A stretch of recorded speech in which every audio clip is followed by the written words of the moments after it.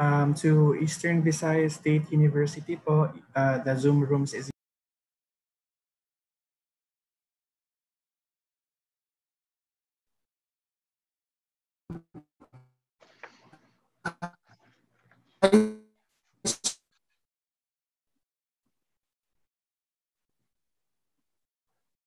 Good afternoon. Uh, our IT nagtaon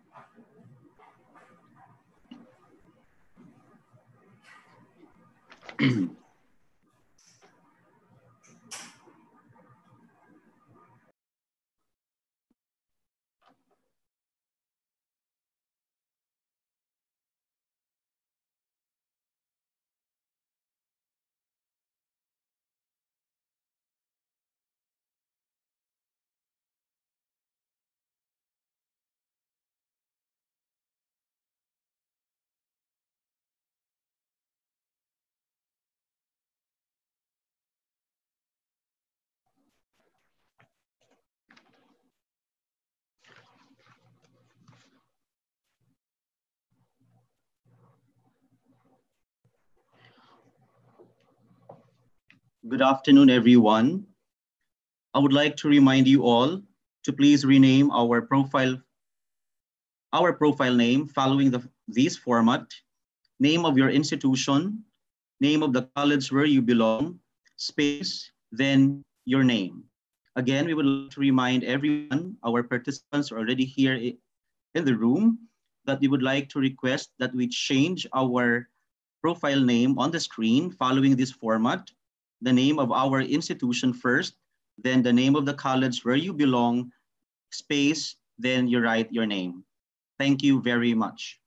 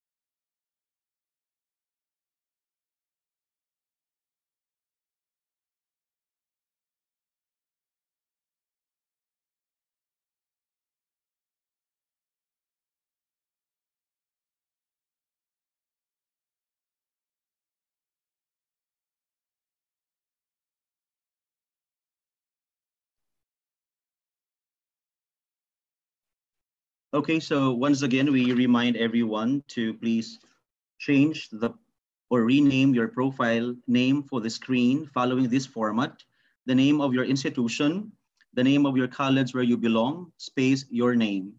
For the meantime, while we are waiting for others to join us here, we would like to read to you our rules as we conduct our webinar series for this afternoon. Again, as we do this via Zoom, we remind everyone to respectfully observe the following video conference etiquettes. First, or number one, is to test device compatibility to ensure that you do not experience or cause inconvenience while participating in the session. Do not navigate on the screen share feature in order not to grab the screen of the resource person and those recognized to speak. Be on time, so we can start and end our session on time. No entry approval during the session proper to ensure that our resource person or speaker is not distracted or disturbed in any manner. Log out after the end of the session.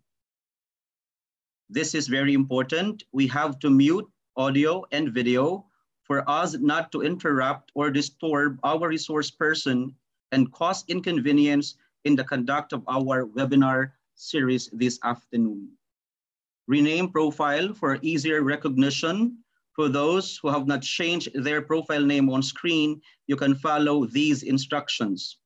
After launching the Zoom meeting, click on the participants icon at the bottom of the window. In the participants list on the right side of the Zoom window, hover over your name and click on the rename button. Then type in the display name following the format, name of your institution, college where you belong, space your name. Click OK afterwards. Proper attire is highly encouraged. Avoid distractions as this webinar session requires undivided attention. Also, this is very important. Speak only if recognized. Again, only if recognized. These are, or those are the reminders for all of us, and we hope that we will respectfully observe for us to conduct our afternoon session smoothly, as also we give more time for our speakers and later on during our forum. Thank you very much.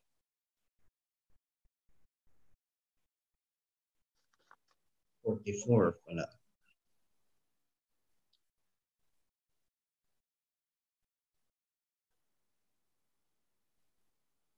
pala. Ano mo committee kuan in policy?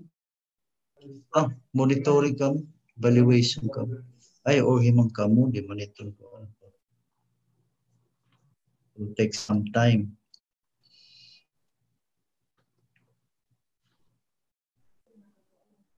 Ano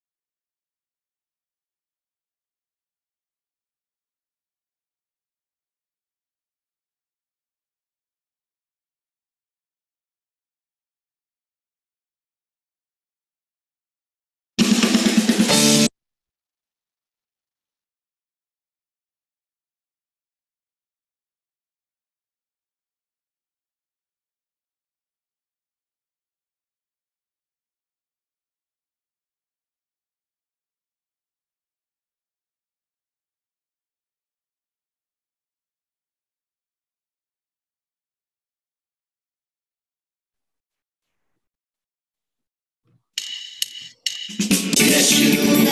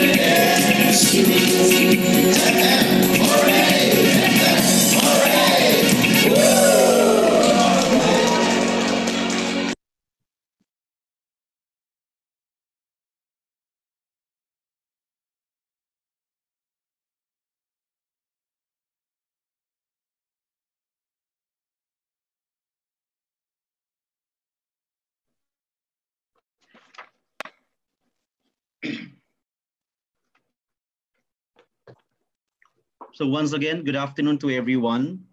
We are live and tuning in to Eastern Visayas Higher Education Institutions, Flexible Learning Management System Consortium, and this is our training workshop on course module production for flexible in higher education institutions.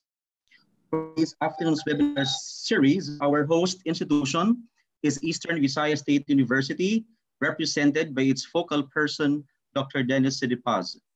And for other participants who cannot join us here via Zoom, please note that we are also live on YouTube and Facebook. Just type, just type EVHES-FLMSC. At this very moment, we also would like to acknowledge our representative from the Commission on Higher Education, both national and local, our key official from the different state universities and colleges in the region, our resource person who will be formally introduced in a while, focal persons from the different universities and all present here today via Zoom, Facebook, and YouTube Live. Again, to one and all, good afternoon. As we conduct our webinar series via Zoom, we remind everyone to respectfully observe the following video conference etiquettes.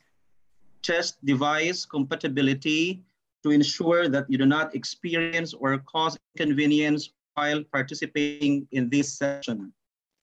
Do not navigate on the screen share feature in order not to grab the screen of the resource person and those recognized to speak.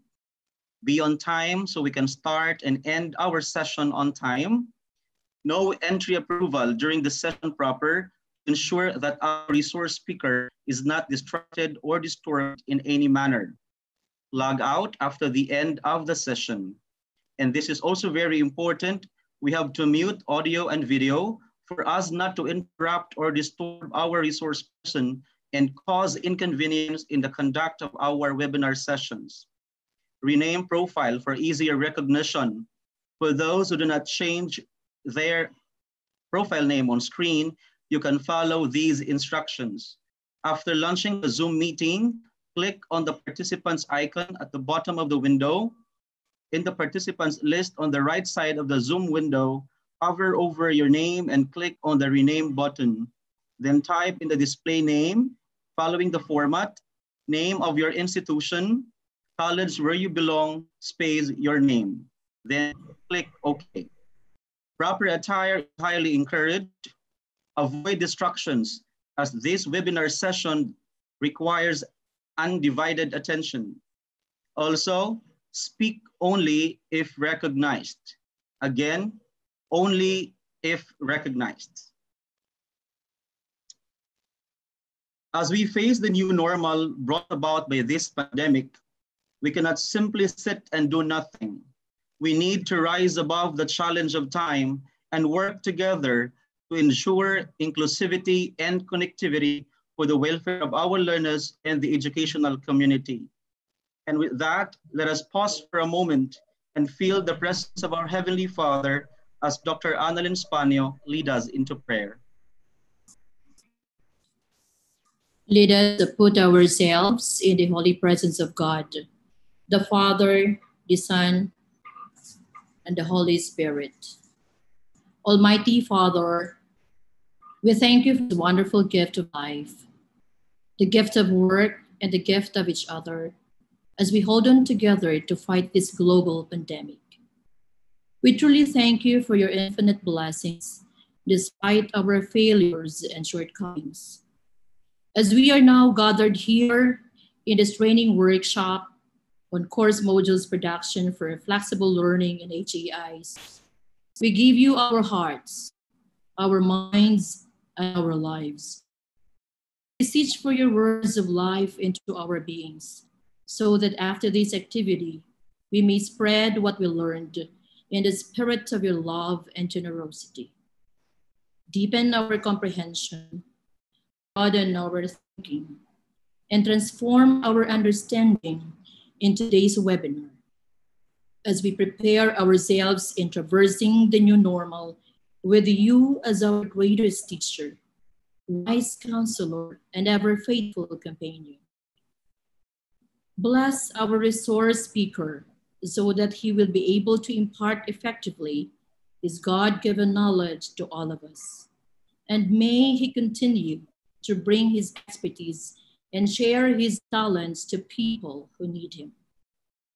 Bless the CHED officials, the organizers, the committees, the SUC 8 presidents, and the entire Eastern Visayas higher education institutions flexible learning management system consortium that we may succeed as one academic community in this collective undertaking for your greater glory and honor. We ask this through Christ our Lord. Amen. In the name of the Father, and of the Son, and of the Holy Spirit. Thank you very much, Ma'am Annalyn, Board Secretary, Eastern Visayas State University.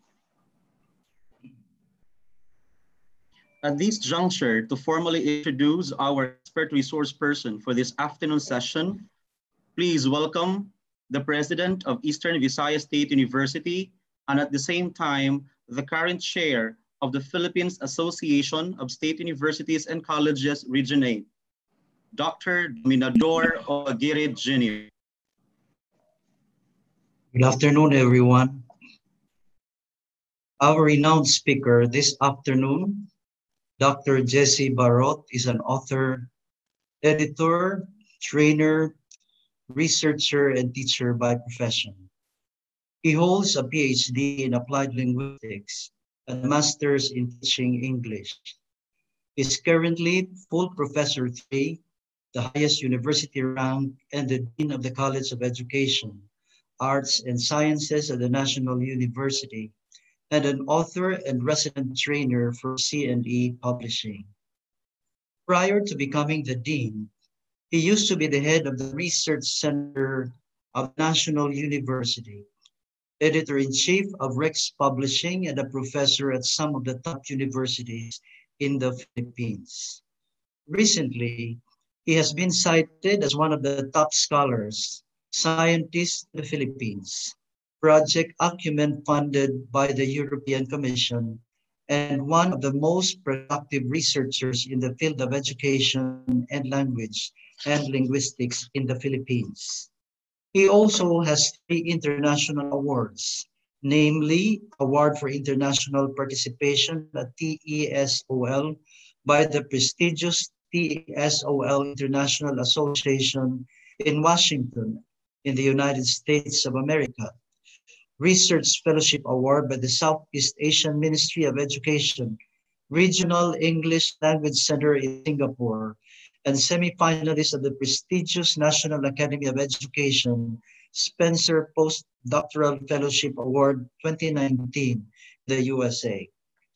Dr. Barot has been invited as a language and research consultant for various international and national projects, such as the National Foreign Language Center at the University of Maryland in the US, Japan International Cooperation Agency, the United States Agency for International Development, Ministry of Education, Science, Sports, and Culture of Japan, the Knowledge Channel Incorporated, and BDO Foundation. He has also conducted over 100 workshops and seminars all over the Philippines and abroad on writing for scholarly journals, business communication, teaching, and learning oral presentation, research, and professional writing, and has delivered plenary talks in many local and international conferences. He served as judge in various research competitions as well.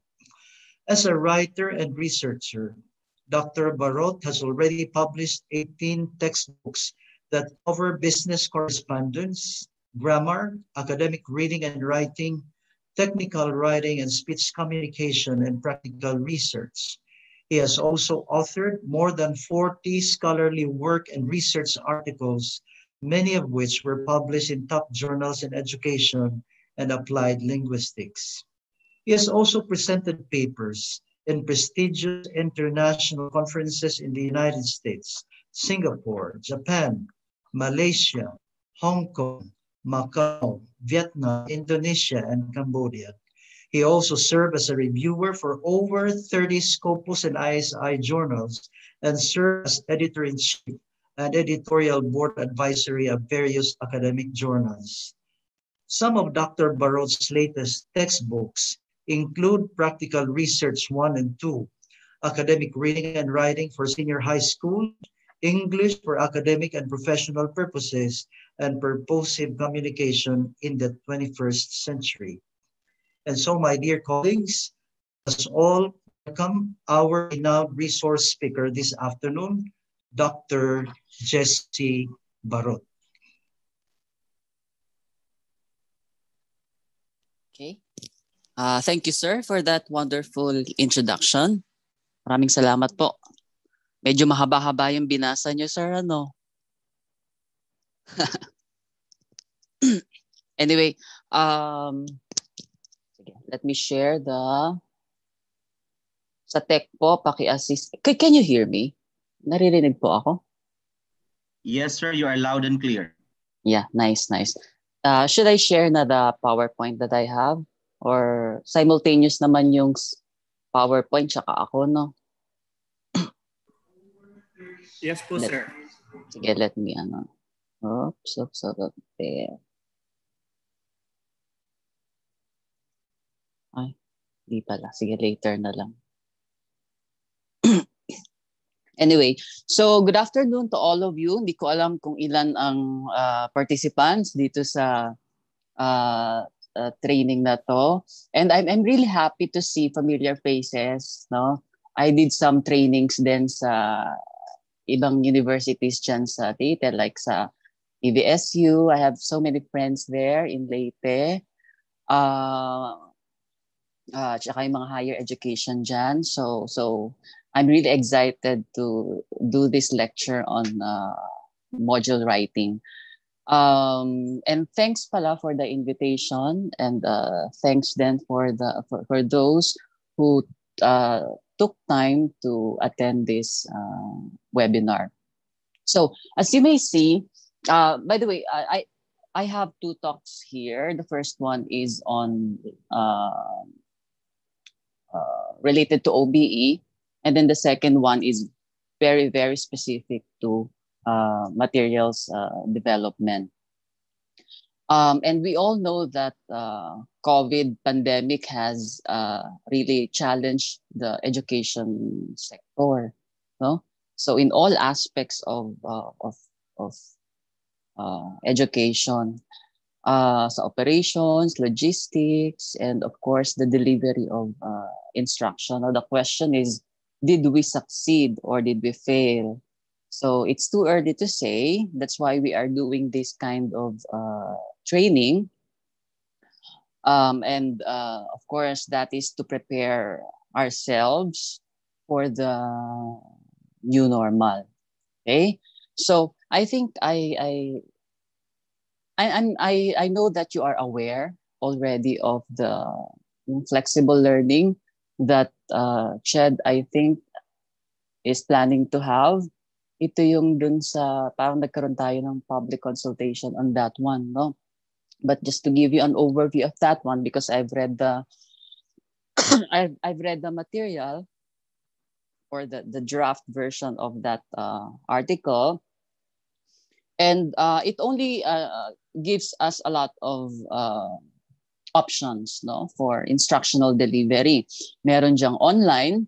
Of course, online is uh, divided into two. We have the synchronous, ito yung real time. Ito yung pag halimbawa nag-message kami, sagot agad. Yan. So nakikita agad ng mga nag-uusap. And then we have asynchronous naman, uh, hindi naman to real time, of course. Uh, but both is still internet-based. Akala kasi ng iba kapag online asynchronous, hindi na internet-based yun yung dinownload. No. Uh, online asynchronous, you are still using uh, uh, internet, pero hindi lang uh, real-time yung interaction. No? So yung sinasabi ko kanina na uh, yung pag download na yung materials from the internet, tapos yung estudyante sinasagutan yung materials nung hindi gumagamit ng internet, ang tawag of course doon ay offline na. Okay? And then we have uh, we have the conventional print. Ito yung mga modules na na pwedeng ipadala na lang halimbawa ng school or kunin ng estudyante sa school, yung mga printed modules, tapos yun naman yung uh, sasagutan nila. Okay, yung ibang school, they give uh, gadgets no, to the students so that yung mga internet connection, tapos nakasave na lahat doon yung materials, no? Para hindi sila affected nung uh, poor internet uh, connectivity. And then itong gagamitin naman ng SHE, there is the broadcast type. It can either be done through uh, TV or radio.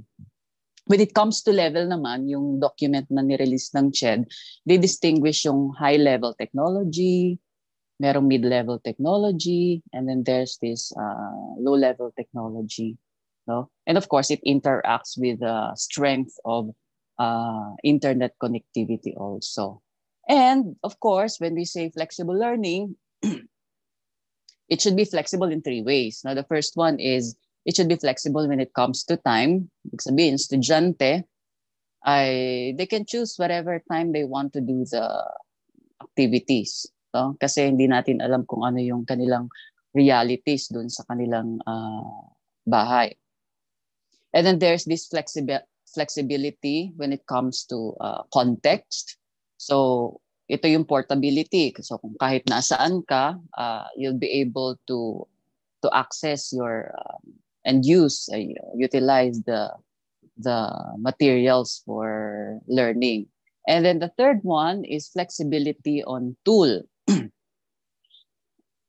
yung sa flexibility naman ng tool, uh, is related to technology. So dapat yung ibibigay nating technology ay um, hindi masyadong complicated kasi nagiging problem is when you use very complicated technology talagang becomes a big, problem for not only for the students but also for the for the teachers no?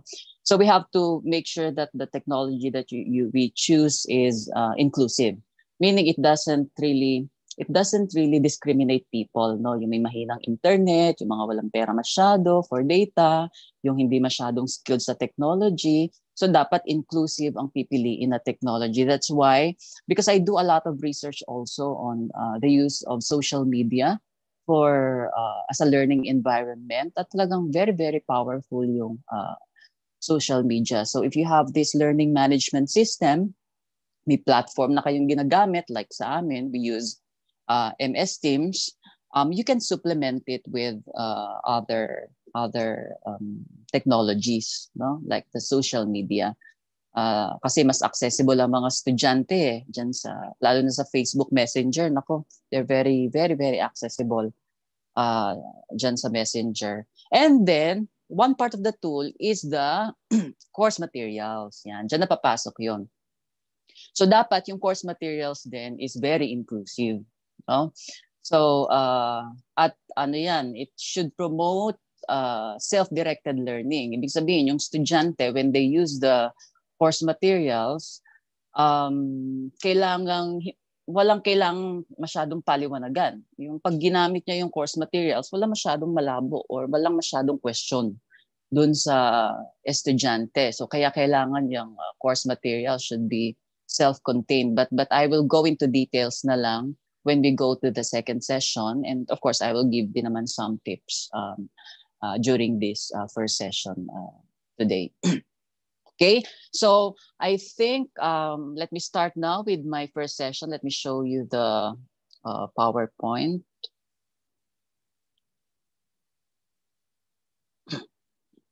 Okay, there. I hope you can see it. Uh, I hope you can see it clearly. Okay, so I, I'll be talking about student-centered outcome uh, outcomes-based model because one of the thrusts of the yung flexible learning guidelines na inirelease ng CHED is um, kailangan it has to complement OBE. So we, we have to start from OBE first. Ano? Tapos how can we promote yung student-centeredness when we prepare our instructional material? So from general tayo, pa-zoom tayo ng pa-zoom to specifics ng uh, module writing. So for this session, I'll be talking about uh, the principles of uh, OBE, and I'm sure I'm, you're you're you're familiar with it. Mag magre-review lang tayo ng konti no sa OBE. And then uh, the appropriateness of assessment techniques. Nako based on my experience as a trainer and as an evaluator of uh, some textbooks uh, and of course as administrator, talagang medyo dito nagkakaroon ng problema sa assessment. So we will talk about a lot of things on assessment uh, techniques and their appropriateness when we prepare instructional materials. and then, of course, we will talk about 21st century learning kasi nasa Education 4.0 ta- tayo. Actually, papunta na tayo sa Education 5.0. No? Uh, medyo nasa bungad na tayo. So kailangan we have to adjust our ways of teaching and we have to understand the ways of learning of our 21st century uh, students. Okay, so let's start with uh, with a review on OBE. Okay, let me start with it. This is in the form of ano na lang. Let's try to make it like a quiz B. A multiple choice, you have four options. Okay, so and then you try to answer. ah, too small daw yung ano. Let me try to uh, adjust. Uh, okay. Sir, can I assist you, sir? Um, ito, okay na po ba? Okay na yan po. Medyo- Okay na. Ayan, lumaki na. Eh, tinilt ko na lang itong ano. Lang. Wait for a while. yan. Okay? So yan, siguro hopefully malaki-laki na itong ano, PowerPoint. okay, so first question. Which of the following is a feature of OBE? So A, observes alignment of learning outcomes and TL activities. TL means teaching and learning activities. B, sorry, um, organizes teaching, learning, and assessment to achieve learning outcomes. C, uh, uses learning outcomes as a core uh, element. Or D, all of the above. What do you think is the answer? okay. Obviously, the answer here is you you try to check your own answer kasi ang passing score natin dito ano dapat nasa 75%, no? Uh, mas maganda kung mapa-perfect natin. Okay? Uh, the answer for this item is D, all of the above. No? It observes alignment of learning outcomes and teaching and learning activities. Okay, ibig sabihin, di ba, we put learning outcomes in our syllabus. So, bawat isa doon, kailangan may corresponding, no? may corresponding uh, activities. Okay, so kasi the heart of OBE are the learning outcomes. So, kailangan align na align ng dalawa. Organizes teaching, learning, and assessment to achieve learning outcomes. Definitely, this is what we call constructive alignment. No? So even the assessment, dapat nagmamatch. Pag sinabi mo dun sa outcome mo na uh, to be able to write an argumentative essay, kailangan may task ka talaga on uh, writing essay. Pag sinilagay mo doon to effectively deliver uh, deliver a proposal, eh, hindi dapat you have a task no corresponding to that particular uh, outcome. So the, the outcomes itself is very very crucial. So kaya dapat tama yung pagkaka-craft niya. Um, and then uses learning outcomes as a core element. Of course, as I've said a while back, no, kailangan ang learning outcome ang puso at pa-backward design. Diba? Nalagay mo na learning outcome, saka ka mag saka ka gagawa ng lahat ng mga teaching and learning activities at saka assessment activities. Okay, let's go to the next item. Which of the following OBE principles requires teachers to give reinforcement activities to learners? A, clarity of focus. B, designing down. C, high expectations. Or D, expanded opportunities.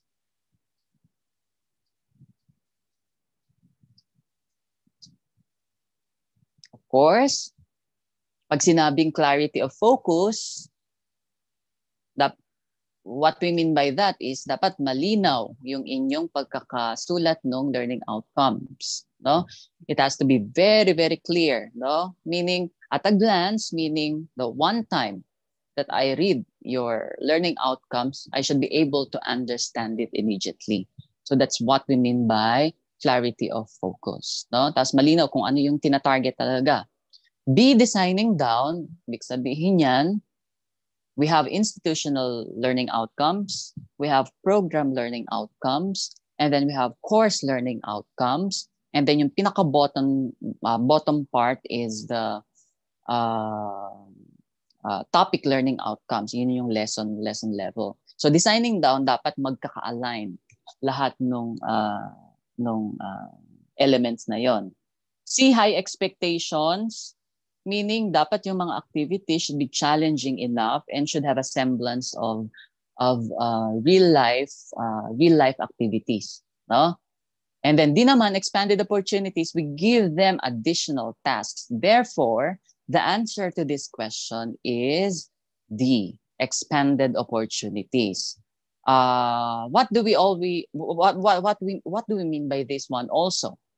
Uh, pag sinabing expanded opportunities, um, the student should not be confined only within the four corners of the classroom. So you have to give lots of activities, lots of tasks, no, to your students, which they can do outside the four corners or beyond the four corners of their uh, classroom, which is very, very appropriate now na online ang delivery ng ating uh, instructions. Three, Which of the following learning outcomes is at the curriculum level? Yung ano yung ano yung nire-release ng CHED na curriculum. Institutional, B program, C course, or D topic.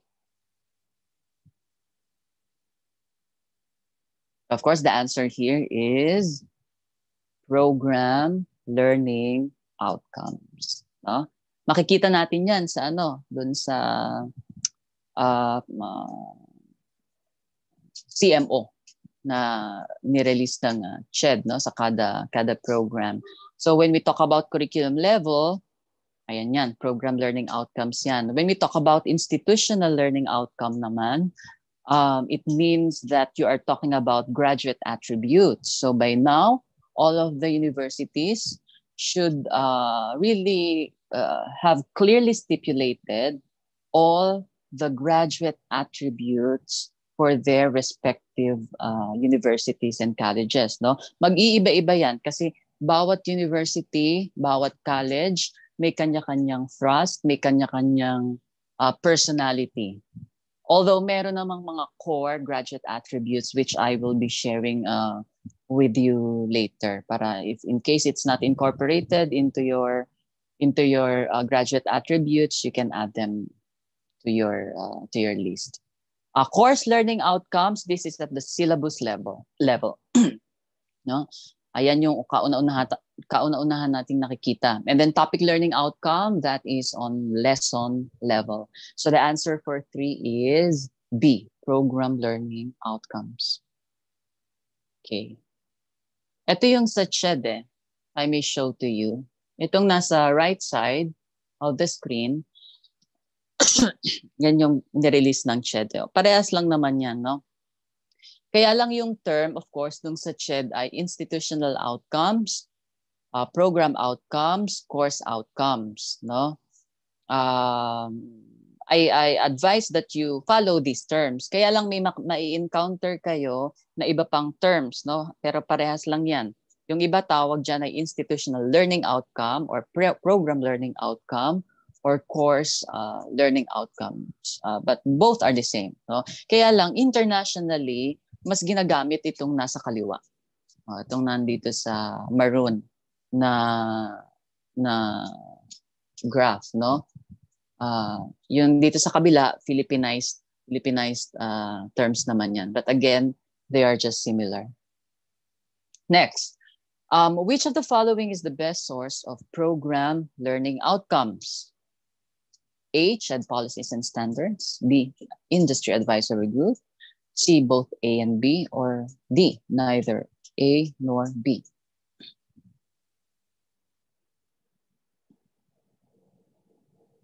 Of course, the answer here is C, both A and B. And sabi ko kanina, you can get it from CHED, policies, policies and standards.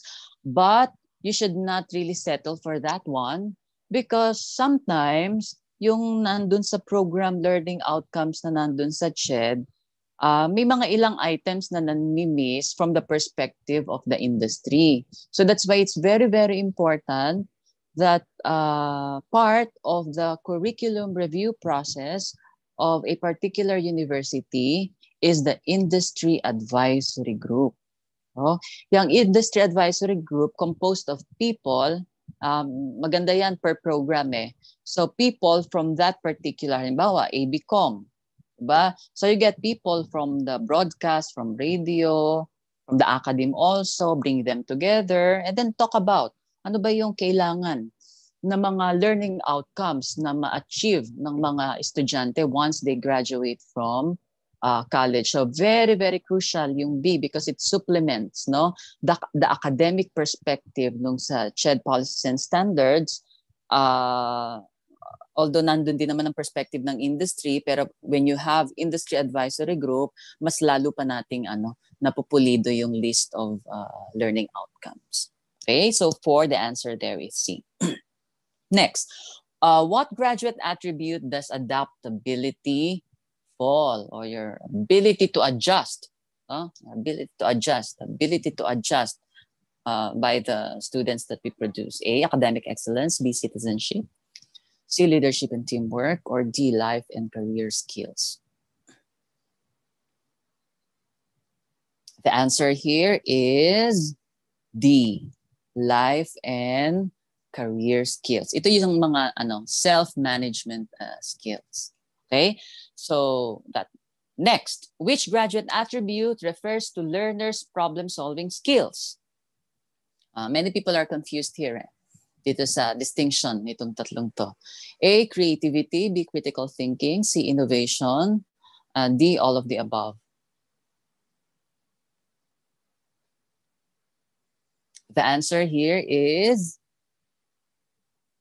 because it's problem solving skills, it's critical thinking. Okay. Uh, why? Because, you know, creativity means you produce something almost out of nothing. That's that's what we mean by creativity. Innovation, um, information are available. Tapos sometimes you fuse the two concepts and then you come up with a new idea. That's innovation. No? So at least may mga basis ka na dyan when you call uh, when, when you when you uh, when you focus on innovation. And then of course, if it's critical thinking, um, it talagang it really directs directly relates to problem uh, solving skills. Next, um, which graduate attribute is not considered as a generic skill? Not considered as a generic skill. A, ICT mastery, B, effective communication, C, intercultural competence, or D, compassion.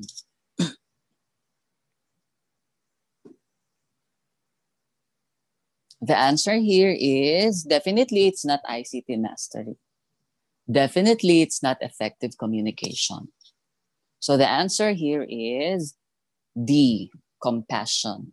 Why? Because A, B, and C are all skills. But D, it's not a skill. No, it's an affective uh, factor. So the answer here is D. Okay. so ito yung uh, sinasabi ko na I, I try to read the graduate attributes of some of the top universities abroad and of course also here in the Philippines. And these are the nine core graduate attributes that I have noticed. Yung talagang halos present tong lahat ng to dun sa mga top universities na yon. Of course, number one, academic excellence. Hindi pwede mawala yon. Dapat mag-excel ka dun sa mga uh, sa mga uh, subjects that you you are uh, taking. And then you have leadership and teamwork. So the the the teacher and the school and the program should uh, provide opportunities for student to practice leadership skills and teamwork. Kaya yung halimbawa, yung maliliit ng bagay na ginagawa natin sa classroom, very, very crucial yun dito sa leadership and teamwork. Hindi uubra na yung kung sino yung leader ngayon, palaging siya na lang ang leader. So even those who are not really that very, very good no, in the academic side, should also be given an opportunity to take a lead. At yun din naman yung mga malimit na nagiging leader, pag sila'y naging member, should be given an opportunity to be a member para mag, ma-practice din naman nila yung yung uh, yung perspective ng isang member. It further enhances their skills, no, their, their teamwork skills, if that's the case. Of course, ICT mastery, ito hindi masyadong problema sa ating mga digital natives, no? Kasi minsan mas magagaling pa sila sa teacher pagdating sa technology. And then, of course, you have the critical thinking, effective communication. I think intercultural competence, by the way, is um, kasi this is a global society now. No? Hindi pwedeng yung estudyante ay kinukulong lang natin na makipag-interact doon sa uh, doon lang sa sa sa maliit na context nila. Halimbawa, kung sa Leyte, puro taga Leyte lang yung nakaka-interact or puro taga Philippines lang nakaka-interact, we have to give them opportunities also to interact with people from other culture kasi uh, through that they would be able to practice or they would be able to showcase their uh, identity as a Filipino uh, but still promoting effective communication with people from other cultures. Citizenship is yung social participation of our students. Kaya uh, I'm pretty sure you're aware of the concept of service learning. Um, I've learned this from uh, Nanyang uh, when when I visited Nanyang Univer- Nanyang Technological University. They systematically implemented the concept of service learning, and that is to allow the students to uh, contribute and participate in uh, social activities. Life and career skills, yan yung mga flexibility. Anyway, I'll be showing to you later the details of. Next, what type of constructive, I mentioned a while back, constructive alignment, no? What type of constructive alignment is shown in a given table? Yan. Our options, by the way, wait, excuse me. Um, our options, macro-constructive, micro-constructive, both A and B, and neither A nor B. Yan. That's the table. So what do you think is this? Is it macro-constructive or micro, both, or neither of the two? The answer is it is a macro constructive alignment. Macro kasi malaki, no? Um, and when we say constructive alignment, yan yung binanggit ko kanina na yung learning outcome, yung uh, teaching learning activities at saka assessment, no? ay magkaka-align. In this case, this is institutional level. So this is a macro constructive alignment. Ano yung micro? You might be asking micro-constructive alignment is yung inilagay mo doon sa lesson, this is lesson level, no? Yung yung ito yung ilalagay niyo doon sa course materials niyo. Kailangan very very uh, uh, critical yung pag-integrate ng micro-constructive alignment. Yung lahat ng learning outcomes or topic learning outcomes na inilagay nyo dun sa lesson or sa module, kailangan may corresponding assessment and teaching and learning activities. Yun yung micro. So for this one, it is macro-constructive alignment. Next, which of the following describes a learning outcome? What learners can do, what learners must do, both A and B, neither A nor B.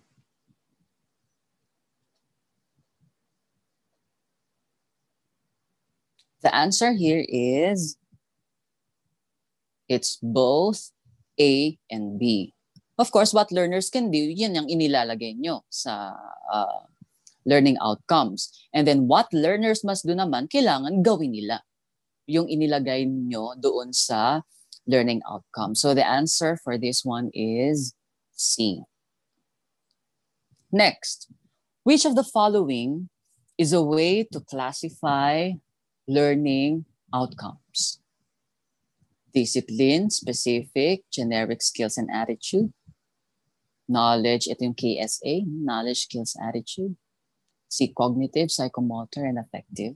And then D, all of the above.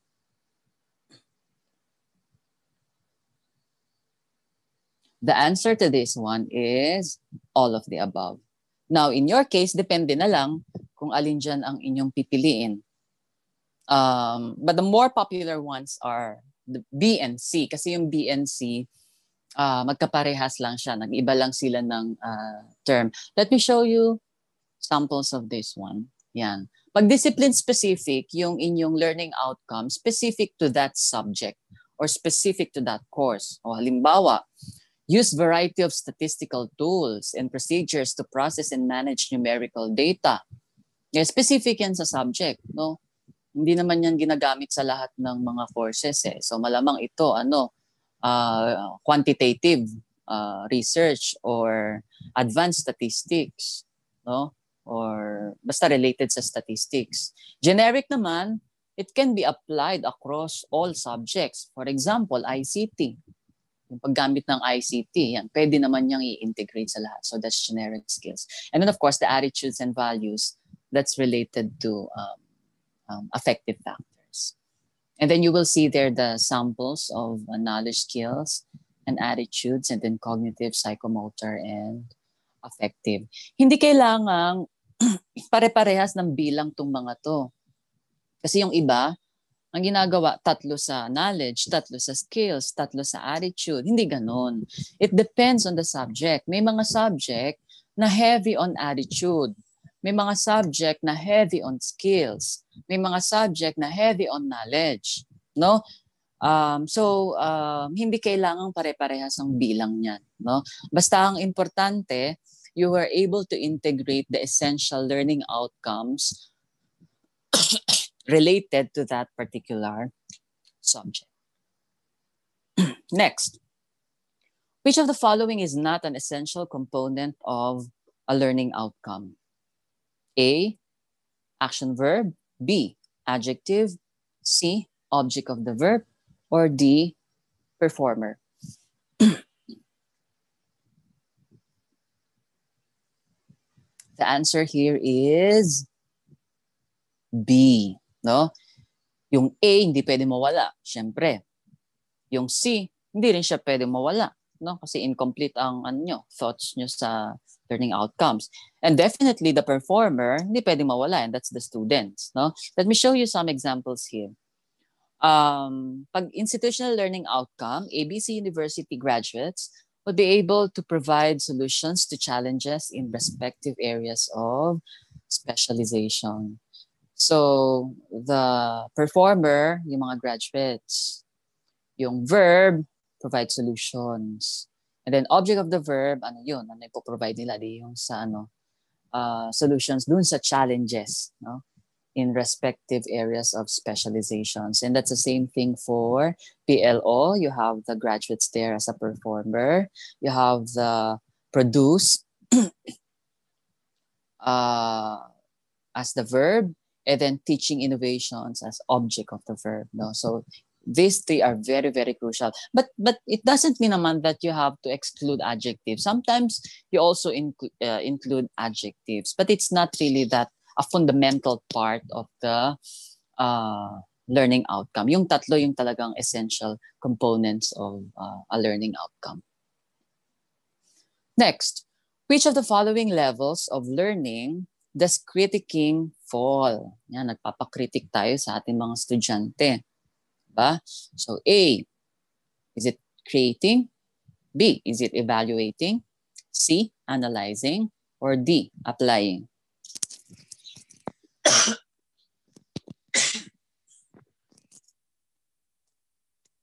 the answer here is critiquing eh. So you will assess whether it's good or not, not good, good or bad, correct or incorrect. So the answer is B, evaluating. Um, uh, analyzing is, ano, it's a different thing. Ah. Baka may question ako dito later na. Next, which of the following levels of learning do comparing and contrasting fall?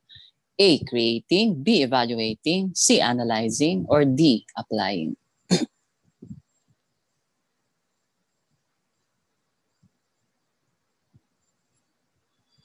The answer here is C, analyzing. Why? Because analyzing is you try to break down, no? you try to break down information. And definitely, when you compare and when you contrast, you break down the information. No? Alin ba dito magkakatulad? Alin ba dito yung magkakaiba? And uh, frequently, di ba, typically, we prepare a diagram for that one, specifically the Venn diagram, just to break down or tease out the information. So, basta it involves uh, involves uh, teasing out of information, breaking down of information, then that would fall under analyzing. And um, ito po ha, when you create your instructional materials, be very, very careful also with the words that we use when it comes to comparing and contrasting. Kasi napakalimit kong ma, uh, ma-encounter the teacher, every time I observe classes, the teacher would say compare, let's say, compare uh, the US economy and the Philippine economy. Yun ang tanong. No, yun yung task na gagawin ng uh, estudyante na binato ng teacher. Tapos si teacher, ang ine-expect niyang sagot ay yung similarities and differences. Eh, more of ano pa nga, more of differences. But your question is to compare. Okay? When we say compare, what we want to elicit from our students are the similarities. No? Pag ang ating verb na ginamit dun is to contrast.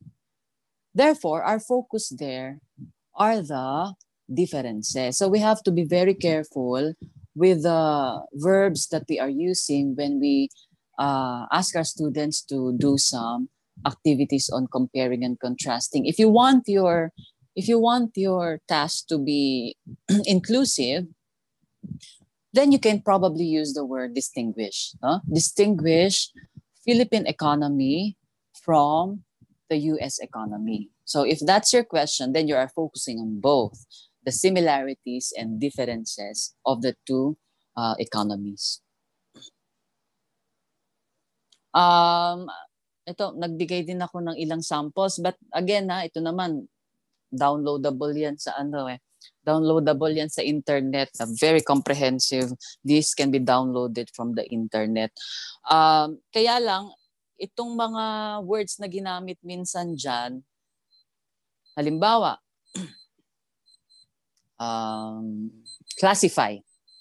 Yung classify, pwede siyang mapunta sa understanding, pwede rin naman siyang mapunta dun sa applying. Depende dun sa tasks na binigay nyo sa, sa estudyante. So, at the end of the day, of course, aside from the verbs that you use in the task and activities that you will ask your students to do, para malaman yung category niya or level of learning, you have to understand also the nature of the activity itself.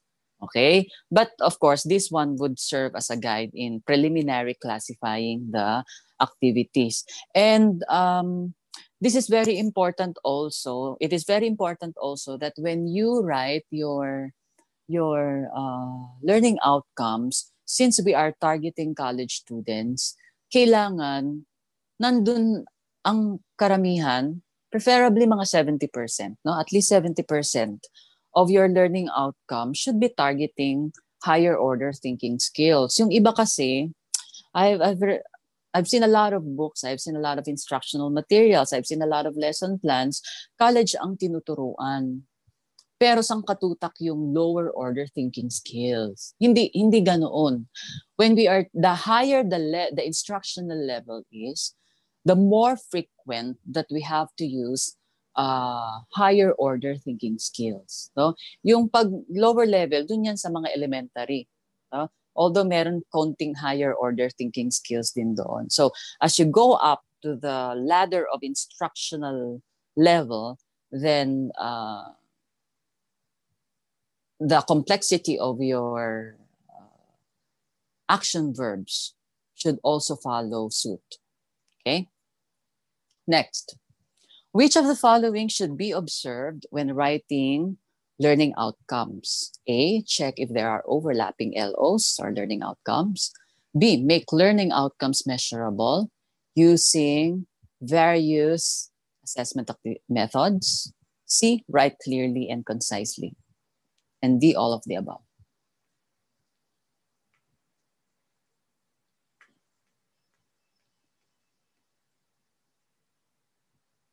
The answer here is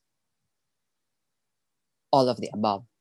Okay? So kailangan walang mga overlapping. Let me show you some examples here. Example, write clearly and concisely, sabi. Tapos ito yung nilagay na LO. Present ideas in a persuasive manner and in the manner that language registers are appropriate, using correct tone, facial expressions, and gestures in any context that such actions will be used. That's very long. It's a very, very long. uh, so atag, dapat kasi the principle here is at a glance. No? Isang tingin, naintindihan. The more frequent you read it, halimbawa, I, bago ko siya mainta- naintindihan, I've read the learning outcome five times. Ibig sabihin, the level of, the level of, um, the level of vagueness of that statement is level 5. Dapat nasa level 1 lang, no? Unang tingin na intindihan agad. Okay? So ito pwede namang simplihan. You can just say present ideas persuasively using appropriate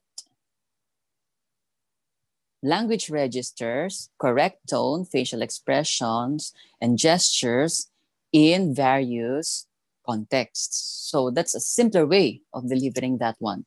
Yung overlapping naman, halimbawa si LO6 or Course Learning Outcome 6 and 7, uh, yung red yung nag-overlap using audiovisual materials and or web-based presentations. Tapos meron ka rin namang using appropriate communication aids. Parehas lang yun. No?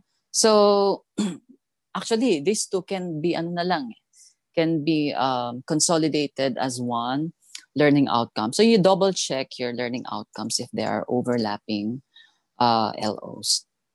Okay, last item. Which of the following should be avoided when writing learning outcomes? A, you cover all the 21st century skills. B, make learning outcomes measurable. C, sequence logically. And then D, write from the perspective of teachers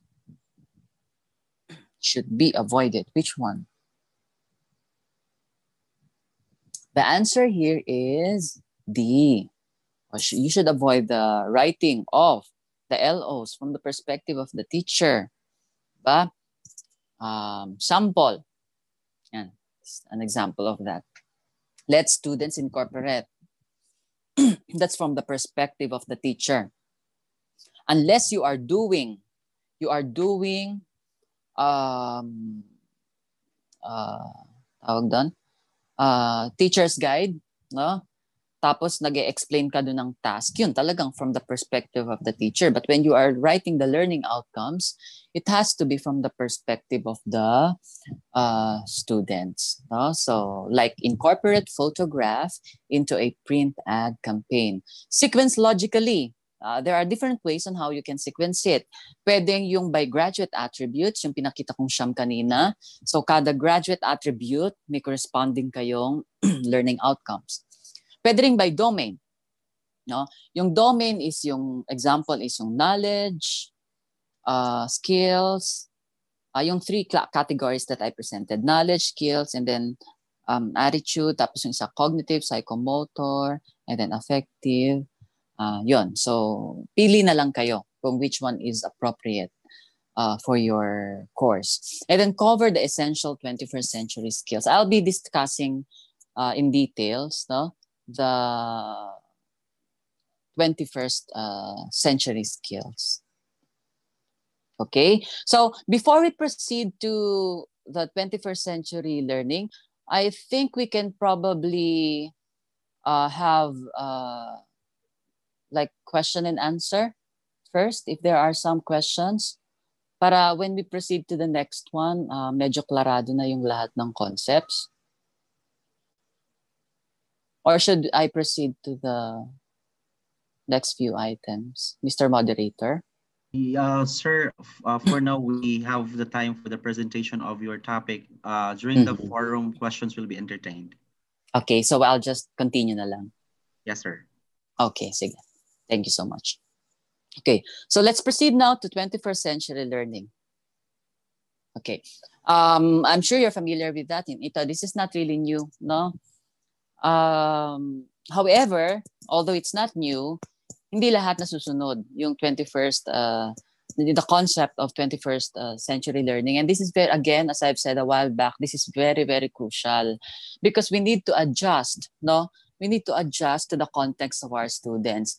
Though it may be true that technology cannot be repla- cannot replace teachers, no? But if us teachers will not adapt to the to to to this kind of uh, education, which is education 4.0, we teachers will be somehow obsolete, be obsolete. No? So, kaya nga ito kitang-kita itong nangyari sa ano eh, itong sa COVID pandemic. Akala natin ready-ready na tayo sa online kasi may mga mga initiatives na ang mga bawat university to do blended learning. Pero nung nandyan na yung problema, ayan, nangapa lahat, no? Pagdating sa sa online learning. And this is not just about technology, no? Minsan, yung teacher mismo hindi naka-default sa blended learning. So attitude part ito. Hindi talaga niya fully accepted yung yung uh, blended learning. Minsan naman yung estudyante hindi sanay because hindi nga na-expose. So sasabihin ng estudyante, oh, hindi nagtuturo si teacher, blah, blah, blah. Kami na lang lahat ang gumagawa. Kasi hindi rin nga sila nasanay. So that's why the concept of 21st century learning is really adapting or or bridging yung education, no? Bridging education and technology. And we have to to make our students and teachers comfortable, no? Comfortable in using uh, these emerging technologies. Now, what are the basic principles of uh, what is 21st century learning first? No, um, as I've said a while back, no, this is, uh, of course, uh, a response to the proliferation of uh, technology and globalization. Globalization, there's this global society already. Okay, so parang one big community na yung uh, buong mundo. And then uh, 21st century learning also focuses on the ability of learning learners to process information through the use of available resources. And this is not just uh, on printed materials, napakarami, multimodal sources. We have videos, we have uh, non-linear sources of uh, yung mga non-linear uh, information yung sa internet and then you have the print. So ang dami-dami. Hindi hindi nahihirapan ng estudyanteng makadetermine ng fake news at hindi fake news no? So kailangan ito very very important na itinuturo natin sa estudyante yung uh, information uh, literacy. And then it focuses on skills that contemporary learners must possess to survive today's highly globalized economy. So we cannot do away, again, we cannot do away with uh, technology. Okay, kaya dun sa ating course materials, kailangan yan ay naka-adjust din sa uh, flexible environment, meaning kaya siya sa print, kaya din siya doon sa uh, online environment. Now, there are six principles, and this is based on uh, P21 framework. Now, if you're familiar with, uh, that's the most popular, uh, most popular 21st century learning uh, framework, the P21 framework. Number one, mastery of core subjects, yung mga tinuturo natin, yung academic excellence, no, in a particular subject. Yan, crucial yan. and then the 21st century themes. Uh, let me have a rundown first because iisa-isahin natin yan sa mga susunod na slides. And then emphasis on uh, the four C's, creativity, critical thinking, communication, collaboration. Emphasis on ICT, and then development of life and career skills, and then yung contextualizing it, the learning to real life uh, situation, and then the implementation or integration of a multi-componential technology enhanced assessment. Let me start, with 21st uh, century themes. Zoom ko lang konti, ha? Okay. So number one, lima yan eh.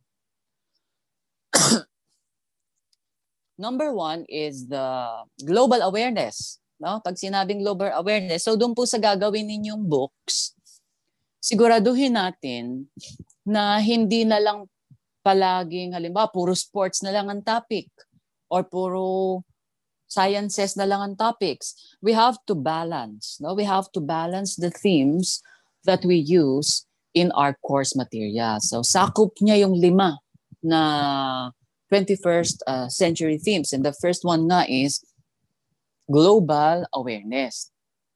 When we say global awareness, ito yung magbibigay ka ng topics ng uh, halimbawa uh, European economy. So kung ano yung nangyayari sa ibang sa ibang uh, bansa, kailangan you have to provide texts then, no? And activities which are related to global awareness. Ngayon, yung yung pagka, pagkakamali naman, nami-miss naman ng iba, pag kumuha ng isang halimbawang text na sa global context, yung text, halimbawa European economy, they stop there na, doon sa global economy. What's crucial to that one is that the materials that you will be producing should li- link that particular global topic and put it to local context. No? So, ire-relate niya ngayon, okay, ano namang kinalaman nun? What's the importance or rel- rel- uh, how, how related is it to the context ng Philippines? So, kailangan may ganun din na ilalagay sa uh, course materials. Hindi yung global nga, diniscuss mo yun, and then you stop there. No? So, kailangan you link it to local context. The next one, the next theme is environmental literacy. O, ito yung sa uh, uh, ba yun? Yung climate change, no? Uh, so, isasama natin yan dyan. So, anything related to environment. So, we have to have some uh, text then and topics related to that one. Financial uh, literacy, ito ay economy. So minsan nag-overlap yung global awareness sa financial uh, literacy, no? So pag economy, uh, personal finance, yan, uh, financial literacy naman yan. Actually yung DepEd, I am part of a project no funded by Banco de Oro, BDO, and then we evaluated the integration of financial literacy doon sa basic education no lumibot ako sa iba-ibang lugar sa Philippines at nag-observe ako ng class. Uh, despite the memo that was released by DepEd, yung si Secretary Briones na yung nag-release, hindi pa rin talaga na-integrate uh, significantly yung concept of financial literacy. I don't know why, because probably the teachers themselves should be financially literate. No? So when you when you uh, this is very crucial to our uh, to our students and to teachers also. So hopefully you can integrate also financial literacy into your CM. And then we also have health literacy. Ito yung anything about physical education and health yan. Maglagay din po kayo niyan. Yung mga sports yan, lagay niyo diyan. and then civic literacy naman, ito naman yung mga uh, social issues. So somehow it will overlap with global awareness kasi kung halimbawa ang topic mo ay social issues at yan ay sa United States katulad nung nangyari doon kay George Floyd. So it covers both global global awareness and um, civic uh, uh, literacy. Okay? So yun po. Um, please take into consideration itong themes 21st century themes because it will balance the the texts and the tasks that you will be uh, integrating into your course materials. Tandaan natin na ang mga estudyante iba-iba ang kanilang interest. And by integrating several themes into your into your course materials, edi you're hitting two birds in uh, one stone, no? Na-hit nyo na 21st century themes, na-address nyo pa yung the concept of differentiation na nag-a-adjust kayo dun sa interest ng inyong uh, estudyante. When it comes to uh, 4Cs, actually this one is the traditional. Ito talaga ang the very popular one. Yung collaboration, critical thinking, creativity and communication. Although it was expanded na nga pala recently, um, naging uh, pito na siya, nalagay yung cultural and ethical citizenship, character, at saka yung uh, computer and digital technologies. Either naman parehas sila. No? But if you want to go to the seven C's, that's okay also because it's more comprehensive. But let me give you one specific example of a task. Kasi when you give, when you craft a task in your course materials, kailangan natutuhog yan. No? Natutuhog yung forces na yan. Halimbawa, uh, by, by the way, let me clarify first yung concept of task, activities, and exercises. Kasi paulit-ulit kong ginagamit, baka ma-confuse kayo dun sa terms. No? Yung bigger umbrella, yung umbrella niya talaga ay yung activities. Okay? Yung activities, it is divided into two. First one is task. Pag sinabing task, ito yung mga real life activities. Halimbawa, bank transactions, making yung mga uh, ano ba? Yung pag nasa interior design, pag gagawa ka ng uh, uh, design, yon that's that's also uh, a task. Basta may, may semblance sa real life uh, activities. Task ang tawag doon. When you say exercise, ito yung mga true or false, yung mga quiz, yung multiple choice, and yon. Okay?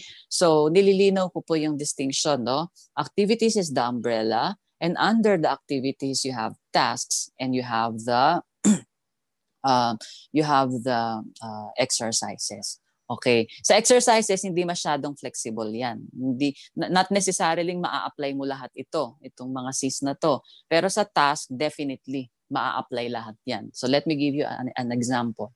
Halimbawa, I will ask my students to come up with a video. Total naman, online delivery, eh di one of the most popular ways of of uh, of assessing the the performance of students is to ask them to do a video, let's say um, an ad campaign or ano nga tawag dun sa um, advocacy, yon An advocacy video.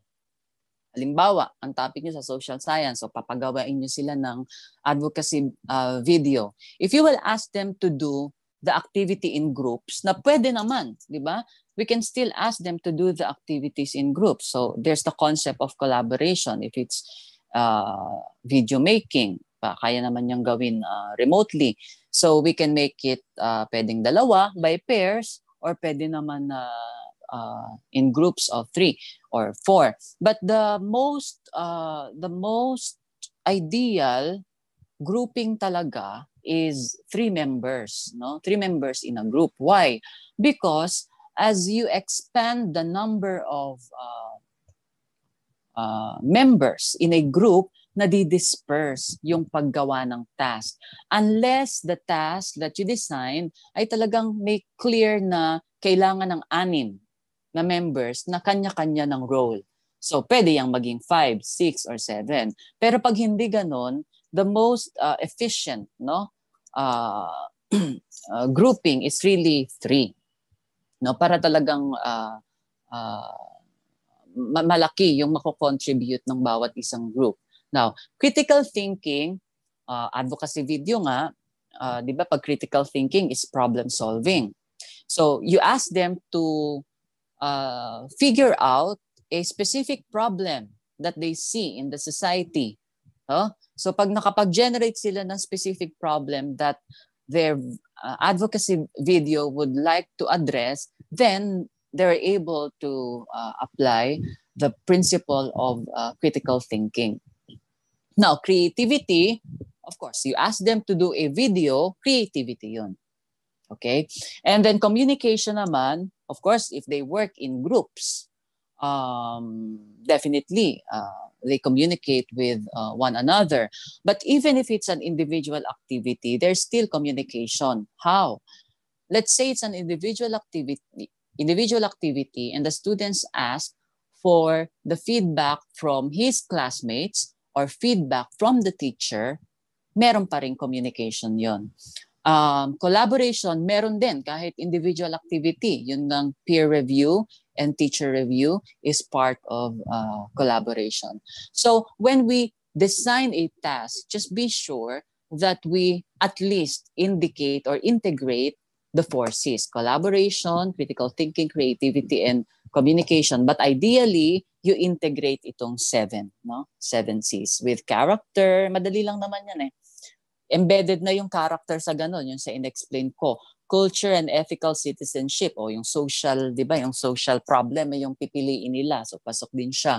Computer and digital technology, since you will be asking them to come up with a, an advocacy video and then also require them to post their video via YouTube. Yan, yung sinasabi kong social media is a very, very powerful uh, platform, especially for the outputs of the students, because you have ready audience there. If you will, if you will uh, publish your work in uh, high profile um, social media platforms like YouTube, uh, Facebook, Instagram, and uh, Twitter.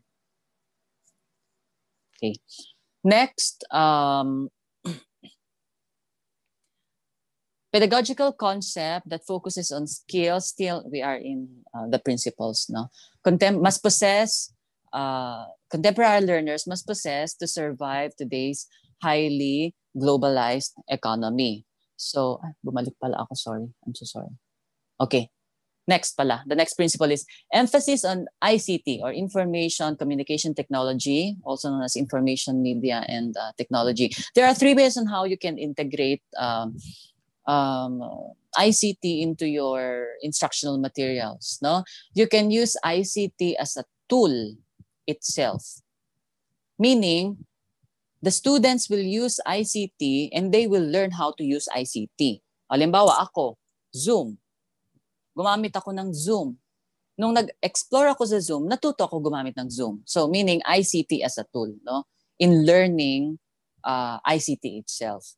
Okay? Yung ICT as a tool for teaching, ito naman yung the teachers use PowerPoint, the teachers use LMS, the teachers use social media to teach um, uh, or to deliver the lesson. And then from the perspective naman of students, ICT as a tool for learning. Yan naman yung may mga um, uh, online activities tayo na binibigay sa estudyante. Tapos yung interactive course materials, no? Tapos yung iba nga ang ginagawa, high-tech eh. Merong gadget, may, ano bang tawag doon? Tab, no?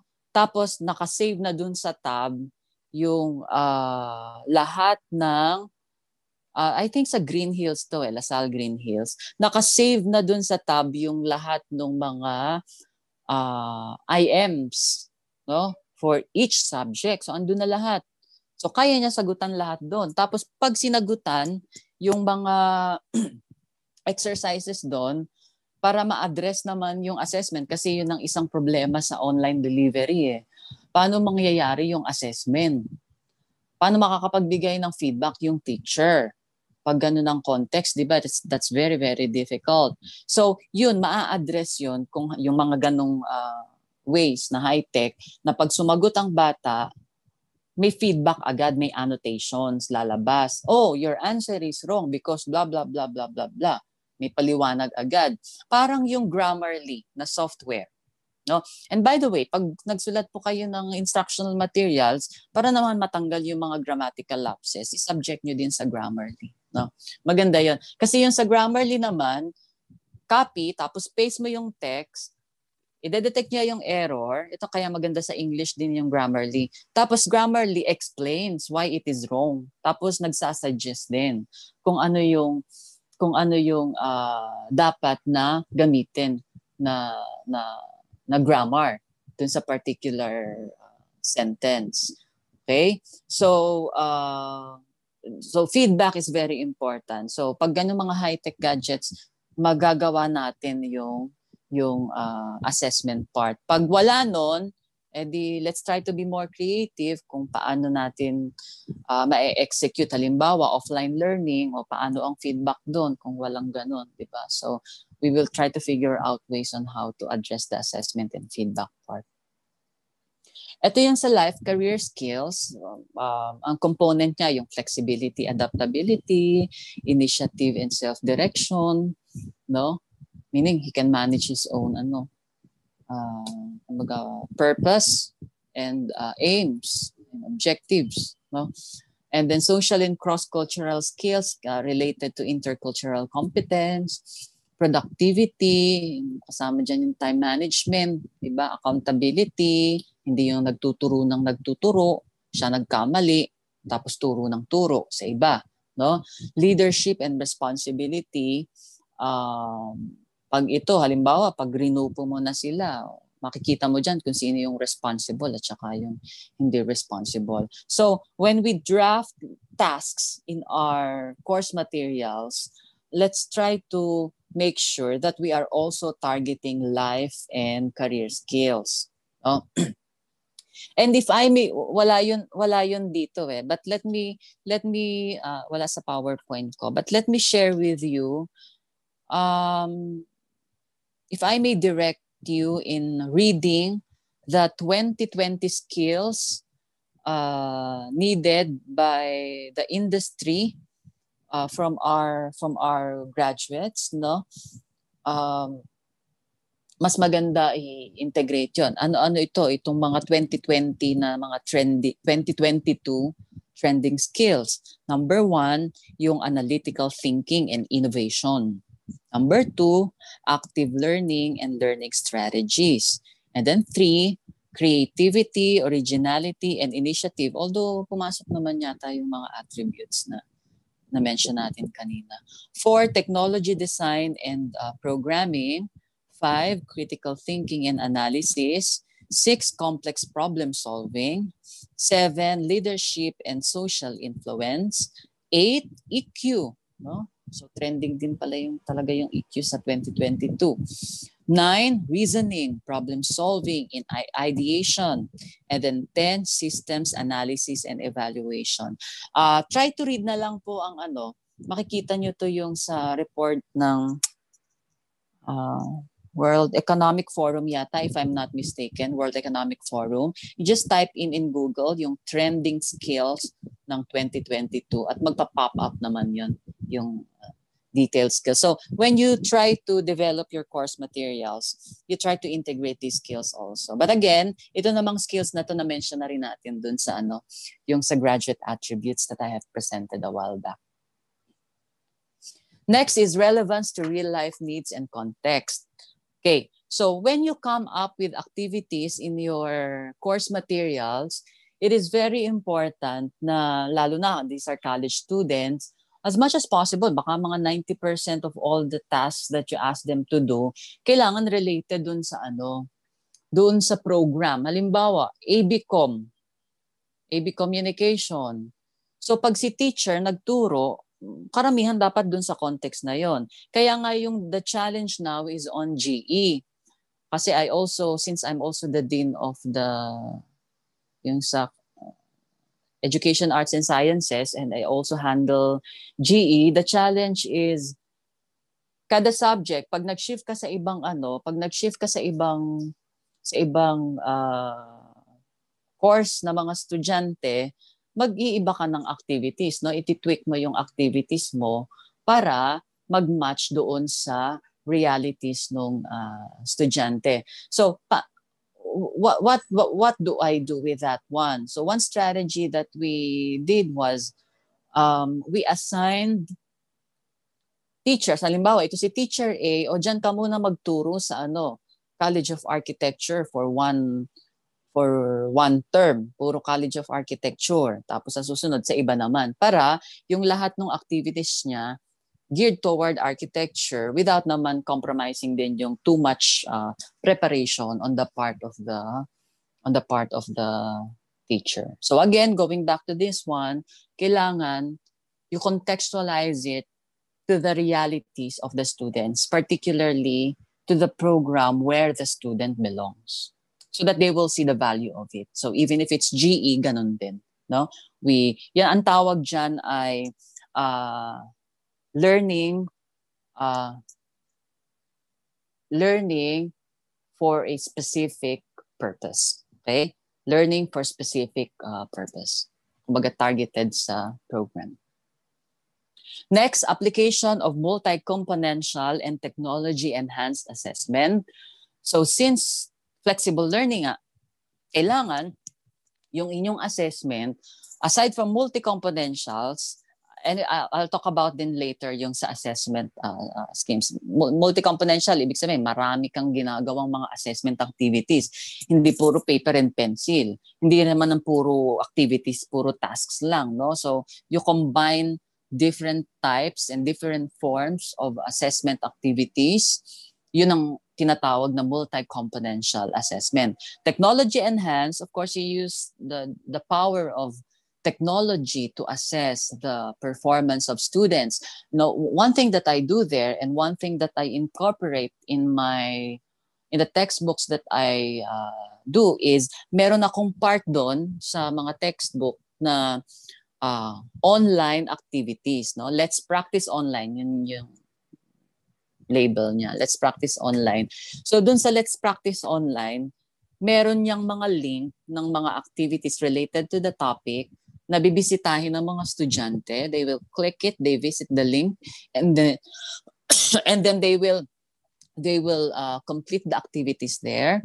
And very ano, very strategic ang pagpili ko dun sa mga activities kasi when the students answered the activities, ito nga to answer yung the the problem on uh, the challenge on giving feedback, once na submit nila yung sagot, may automatic ano yun, may automatic uh, results. Tapos bukod dun sa results, merong explanation. Why are you wrong in this uh, item? So ganon. So let's try to let's try to use the power of uh, technology. Katulad ng paggamit ng social media in exhibiting or displaying the performances of our students. That's a very very powerful powerful tool. Why? Because when we use social media, may tatlong puwersa na gumagana doon para yung estudyante ay mas galingan ang performance. Number one, of course, that's very interactive and it's more engaging for the students.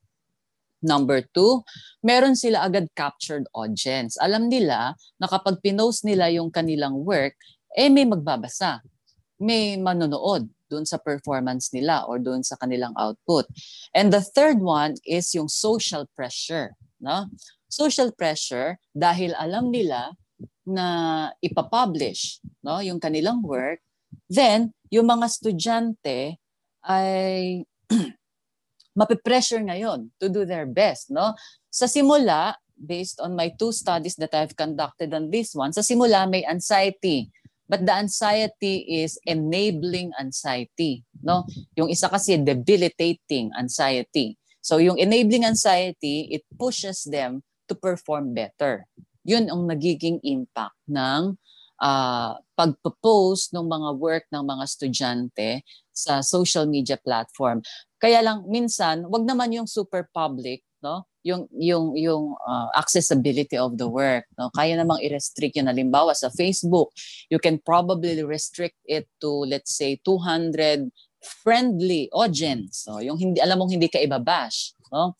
So you can limit it to them para naman ma-lessen yung anxiety din of the students. So let's try to use the power of technology especially now that we are uh, about to use uh, flexible learning. now, let's try to um, I want you to uh, answer this activity. Uh, since you cannot do groupings here, uh, you just do it individually.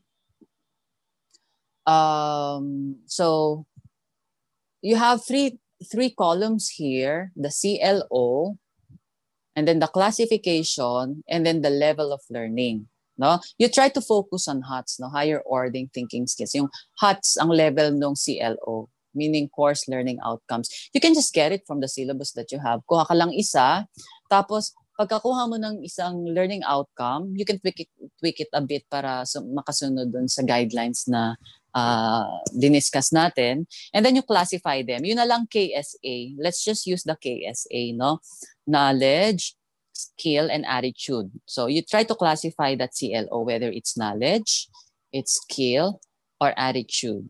And then um, level of learning naman is um, ito yung creating, synthesizing, yung kay Bloom. Synthesizing, um, analyzing, applying, comprehending, and understanding.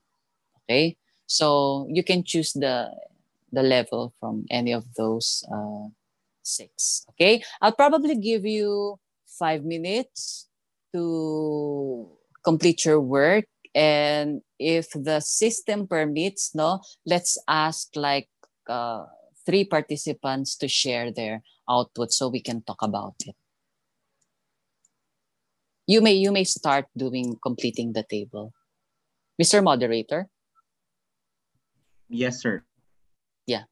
Do you have anything to say to the participants? Is it possible that once they completed this, simple lang naman to, no? Uh, three participants can show their output? Yes, sir. We will. We will. Ah, ah, sige. So let's have five minutes uh, to complete the task. And then later, siguro you can choose na lang kung sino yung makakapag-present. Okay, sir. Noted po. Okay, sige. Thank you.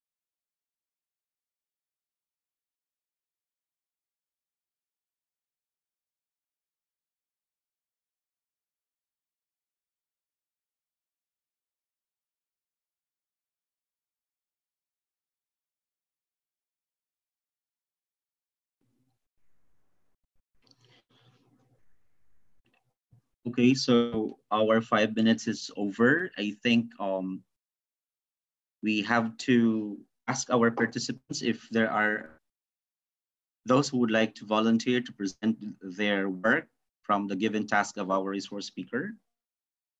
For any volunteer, open your video, please, to be recognized. If no volunteer, then I will be choosing from the group the first presenter. For those who would like to volunteer, you can comment um, inside our chat room, or you can please open your, your video to be recognized.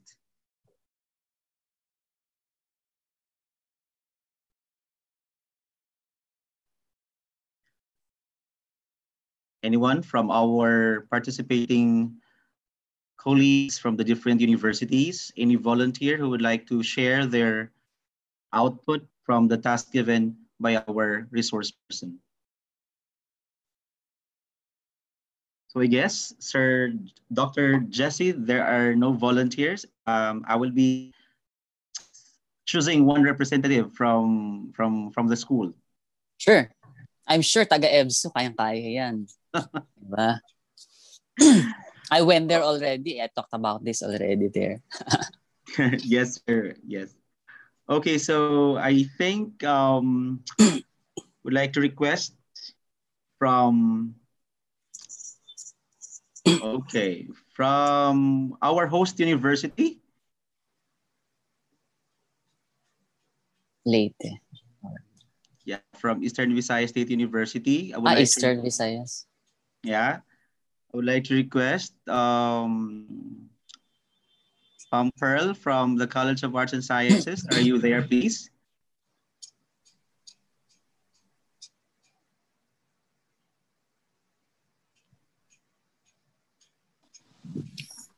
Hi, ma'am. Yes, sir, I'm here, but I wasn't able to get the um the level of learning part. Okay. Le- lev- level of learning is the yung Bloom's taxonomy. Um, creating, um, Understanding. evaluating, uh, analyzing, applying, understanding, comprehending. Ah, okay.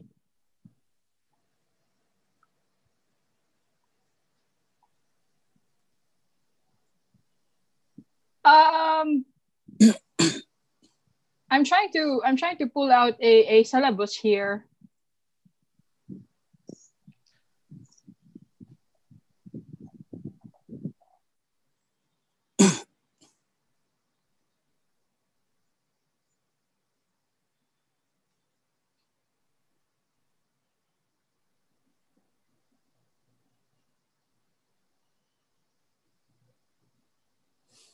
咳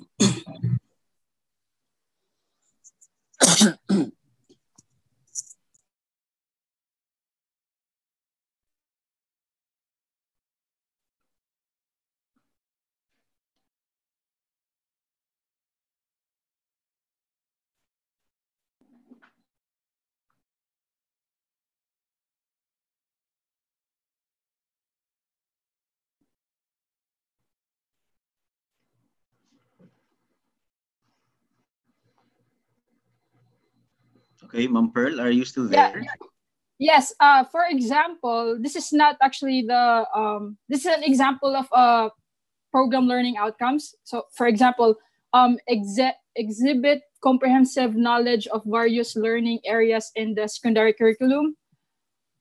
Um, and then the next next um, column was the next column was what what's the next column again?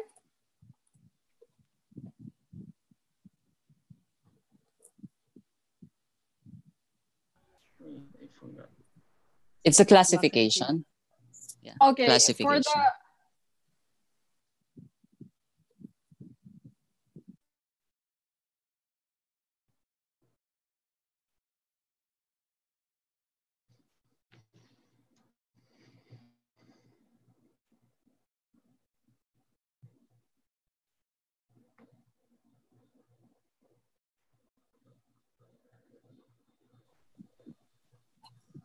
Hello?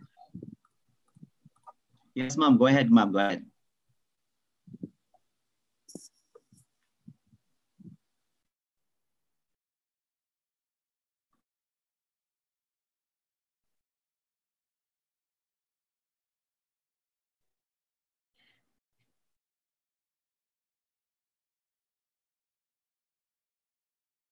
Hello, Pearl. Uh, for the classification, uh, you have to focus on the knowledge, skills, and attitude.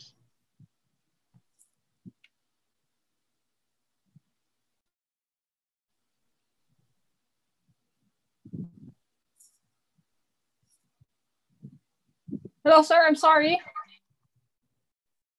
Um, it, it would be uh, on three, the knowledge, skills, and attitude, the case A, the one that uh, Dr. Barot was uh, mentioned earlier during the presentation. Sir, somebody is, I'm sorry, so sort of somebody is is actually trying to give an answer. Can we can we give them the floor, please? Uh, okay, ma'am, uh, noted. Okay, I think um, Ma'am Lucille Doliado from uh, NWSSU. Uh, Ma'am, are you are you there? Can you please open your your video for you to be recognized, please?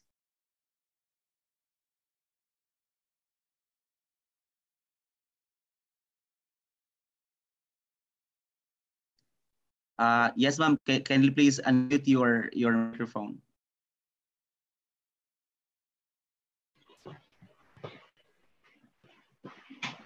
Okay na? Yes, ma'am. Yeah, go ahead po. It would be better if you present it uh, via video. Okay. So for the course learning outcome, perform a mock, demonst a mock demonstration lesson of any method studied. Then classification is skill, level of learning, applying. Is it okay?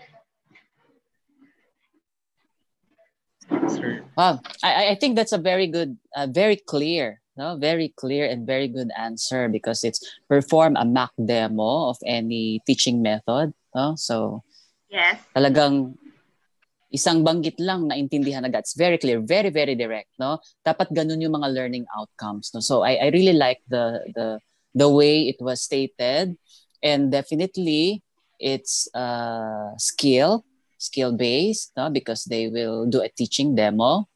And then, yes, it's applying because they will be uh, using what they have understood in a particular ca- context and particularly it's it's uh, specifically it's on the teaching context so very good answer i really like the uh, it seems that it's very, very clear yeah Okay, you. very. Uh, thank you, ma'am. Uh, sir, uh, Doc- uh, Doc Jesse, there is another one from um, EVSU College of Engineering. Um, Yep, sure. Marina Pedrosa, please. Ma'am, can you open your video to be recognized, please? Hello, good afternoon, Sir Jess. Um, hello good afternoon Good to see na-miss you ko na yung engineering Oo. so mine was same with mom, but mine was for under um, my subject, um, material testing. So my course learning outcome was classify the soil sample using the sieve analysis result. My classification classify the uh, cla- classify the soil sample Soil using the sieve analysis results. Oo. Um, mine was scale for the next column. Then the level of learning is also applying. Is that correct? classify um okay Le- um when it comes to the learning outcomes it's very clear no the verb is very clear the object of the verb is very clear so class- classify the soil sample i'm not just so sure if it's really under skills or under more of of uh, knowledge Oh yeah, I also write here. and I have two answers for knowledge, and the Ah, other is ah. assessing. Mhm. Or the unless un, unless the kaya dapat talaga nako-contextualize din siya eh. Yung pag-classify, meron kasi minsan pag nag-classify ka, yung literal yung kikilos yung ano eh, kikilos yung bata, 'di ba? Ah, pero pag nasa realm of concept, then it would fall under uh, knowledge, no? knowledge category siya. Um, and then for the level of learning, since it's more of knowledge and classification, it's more of nag ano ka eh nag-breakdown ka ng information. So since nag-breakdown ka ng information, it is it would fall under um, analysis. Okay. Actually mas mataas pa sa apply. Yeah, kasi yung apply is level 3 eh. Analysis naman is level 4. So, but Okay. but the the learning outcome is very very clear, no? Katulad yung nauna, uh, at a glance, you can re- immediately understand the the focus and the target of the learning outcome. Uh, siguro we just have to make it more of uh, more of um, knowledge knowledge category and then uh, analysis. Mas ano pa higher level yung tinarget niya. Okay. Okay. Thank you, sir. Th- thank you for the presentation. Probably Okay, uh, last one. Yeah, yeah, sir, Jesse. We have last um, one to volunteer for the presentation, and that is from uh, Biliran State Univer- Biliran Private State University. Uh, sir Paul Matthew Bentor, please. Uh, kindly open your video for to be recognized from Biliran Province State University. Um, yes, sir. Yes, please. Um, can I share my screen?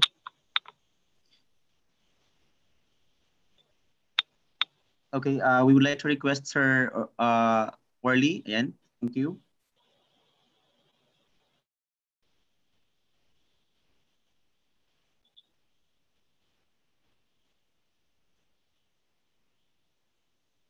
Uh, hello, sir. Can you see my screen now? Yes. Yep, it's clear.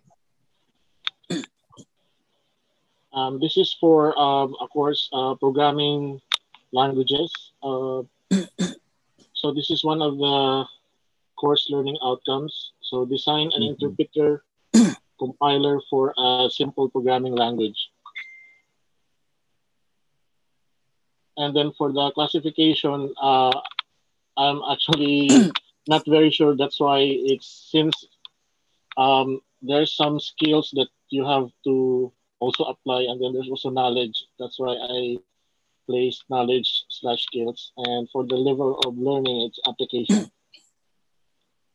Okay. So thank you for that presentation, sir.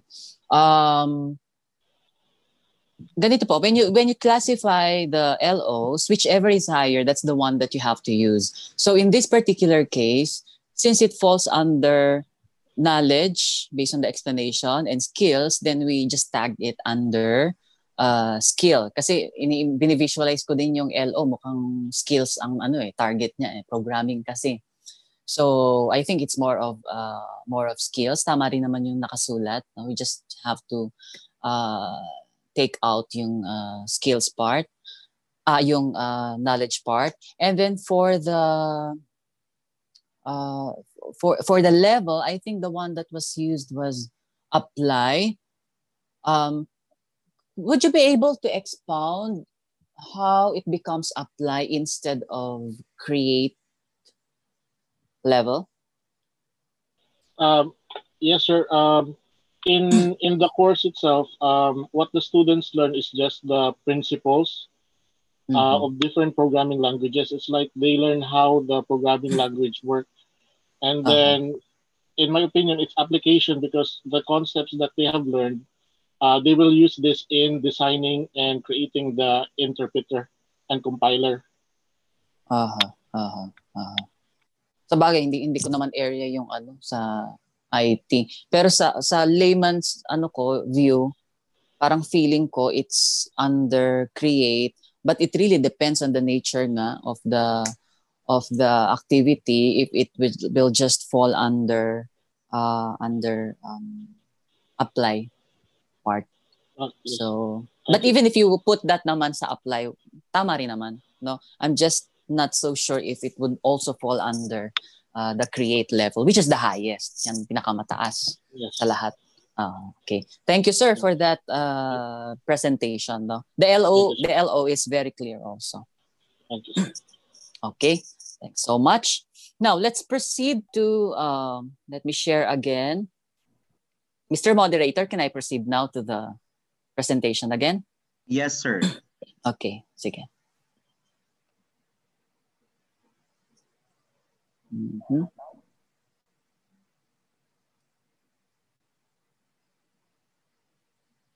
Oops.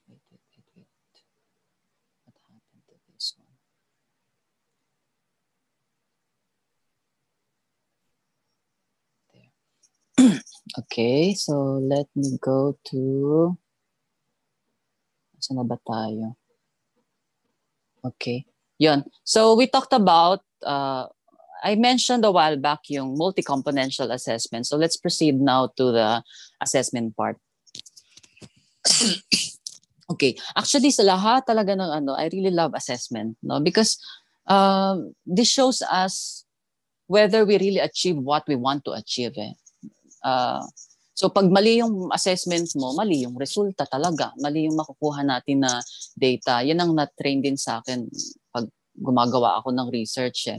So we have the means should be correct so that the the results will also be uh, correct. So, but ito yung com- confusing concept concepts for some. No, they they really don't know how to distinguish measurement from assessment uh, from uh, evaluation. Although if you will really search uh, some references online, and all of these are really really reputable, no? reputable references, nag-vary yung kanilang definition. But like more or less 70% of these uh, reputable references would tell us that the umbrella is assessment. no, yung assessment under niya yung measurement and evaluation. Now, what's the difference between measurement and evaluation? Of course, you take it from the term. Kaya nga siya tinawag na measurement, um, quantitative yan. Diba? Halimbawa, 8 out of 10 sakwi, oh, quantitative yun. Nakakuha siya ng 95, quantitative yun. So, measurement yan. Yung mga nakukuha sa mga board exam, measurement yun.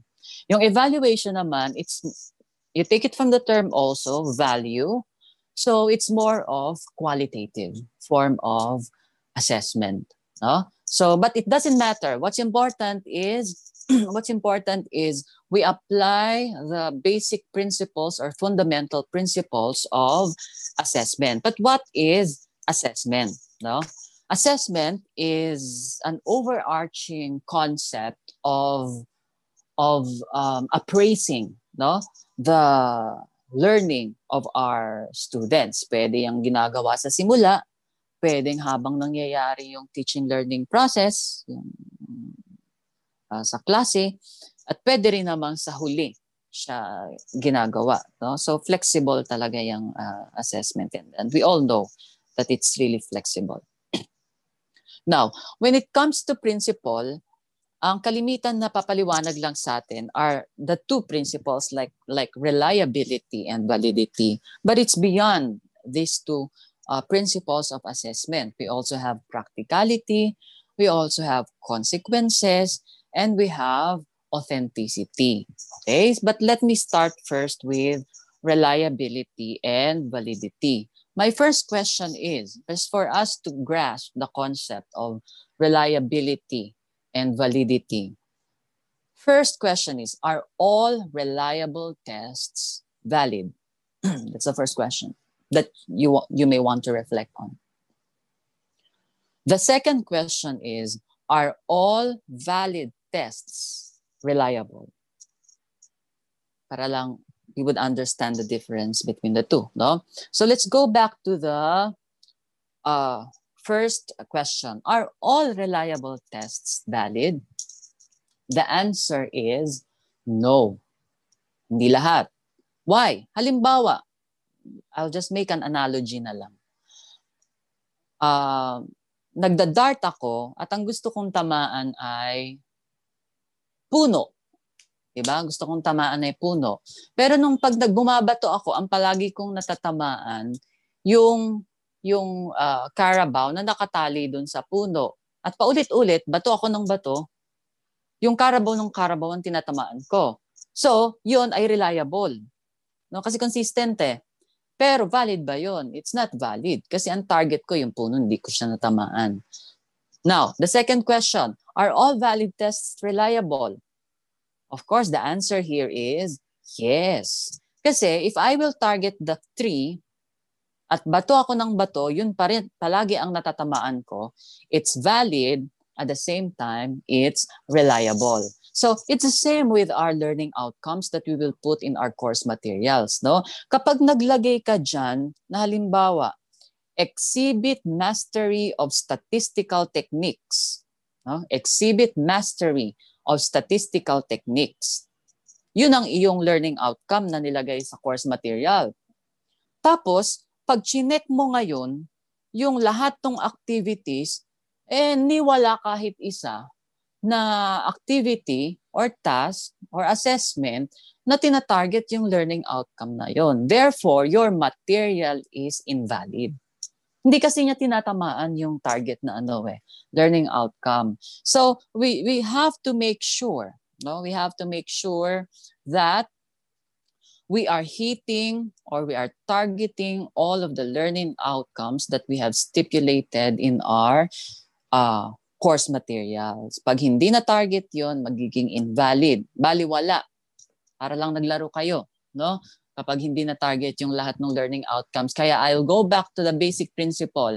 Kailangan first play, first things first, tama yung pagkakalagay ng mga at pagkaka-craft ng uh, learning outcomes. Okay. When we say reliable,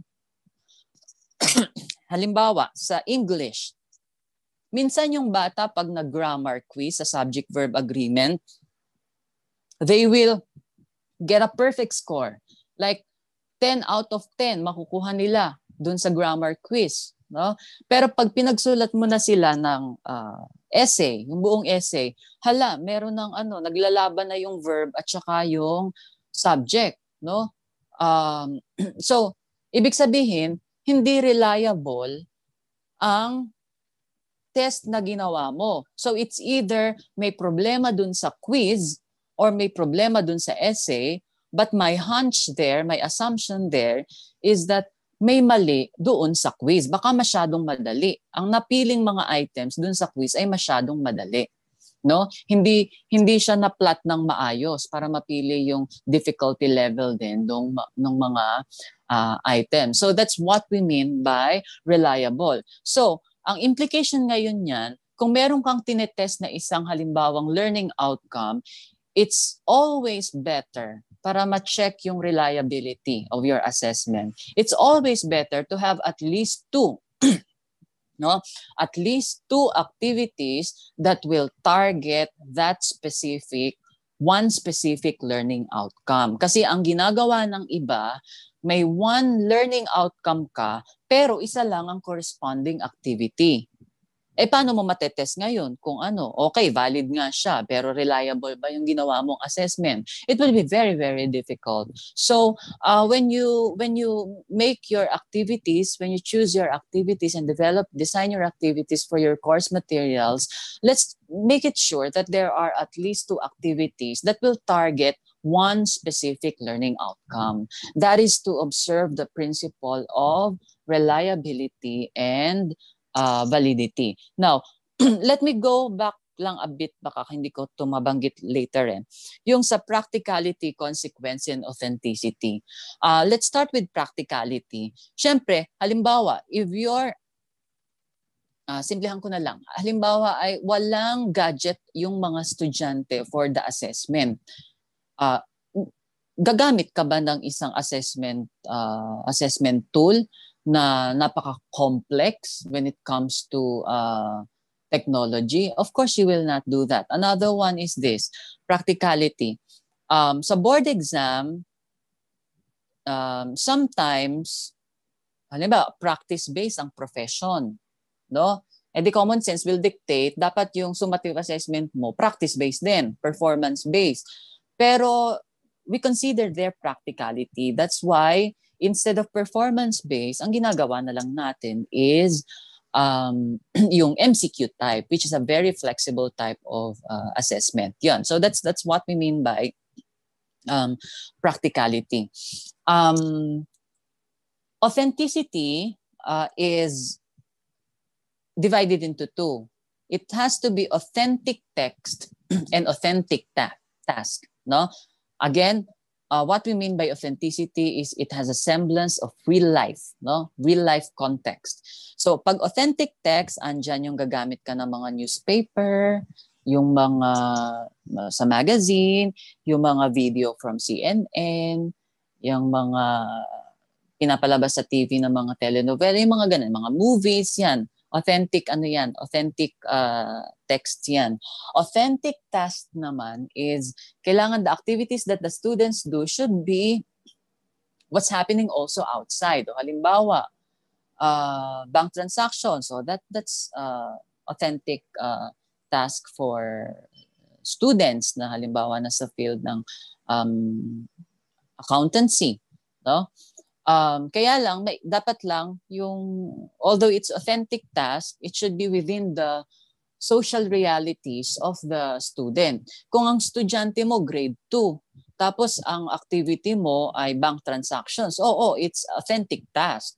But it's beyond the social reality of the student. So kailangan sa pool din yung social realities ng estudyante. Kaya ang palagi kong ine-emphasize even in other trainings, kailangan learning for specific purposes, no? Yung mga estudyante sa ganitong course, lahat ng mga activities as much as possible i-align sa kanilang realities, no? Para may authenticity, yung principle of authenticity ay ma-integrate. Uh, for the consequence naman, um, ito yung um, meron kasi tayong high stake at saka low stake. Yung mga high stake, yung mga board exam yan, di ba? Ang mga low stake naman ay yung mga quizzes. So ano yung impact niyan sa assessment? Mas mataas ang consequence, yung mga high stake, mas matindi dapat na ma-ensure ang reliability and validity ng assessment. Pag naman uh, low stake, yung yung uh, low stake o low impact yung consequence, hindi mo naman kailangan na mag-test pa na may mga statistics, no? na mga may reliability test pa. Hindi naman. Ang paggaganahin nyo na lang dyan ay yung intuition ng uh, teacher, tsaka yung knowledge, pedagogical skills and pedagogical ski- uh, knowledge of the uh, teacher. So that's that's what we mean by the principle of consequence.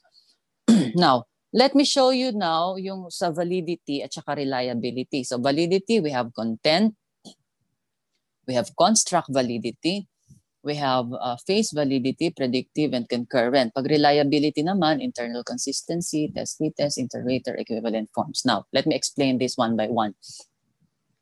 Um, pag sinabing content validity, dyan tayo gumagawa ng table of specifications. No? Table of specifications. Alam naman natin yung table of specifications.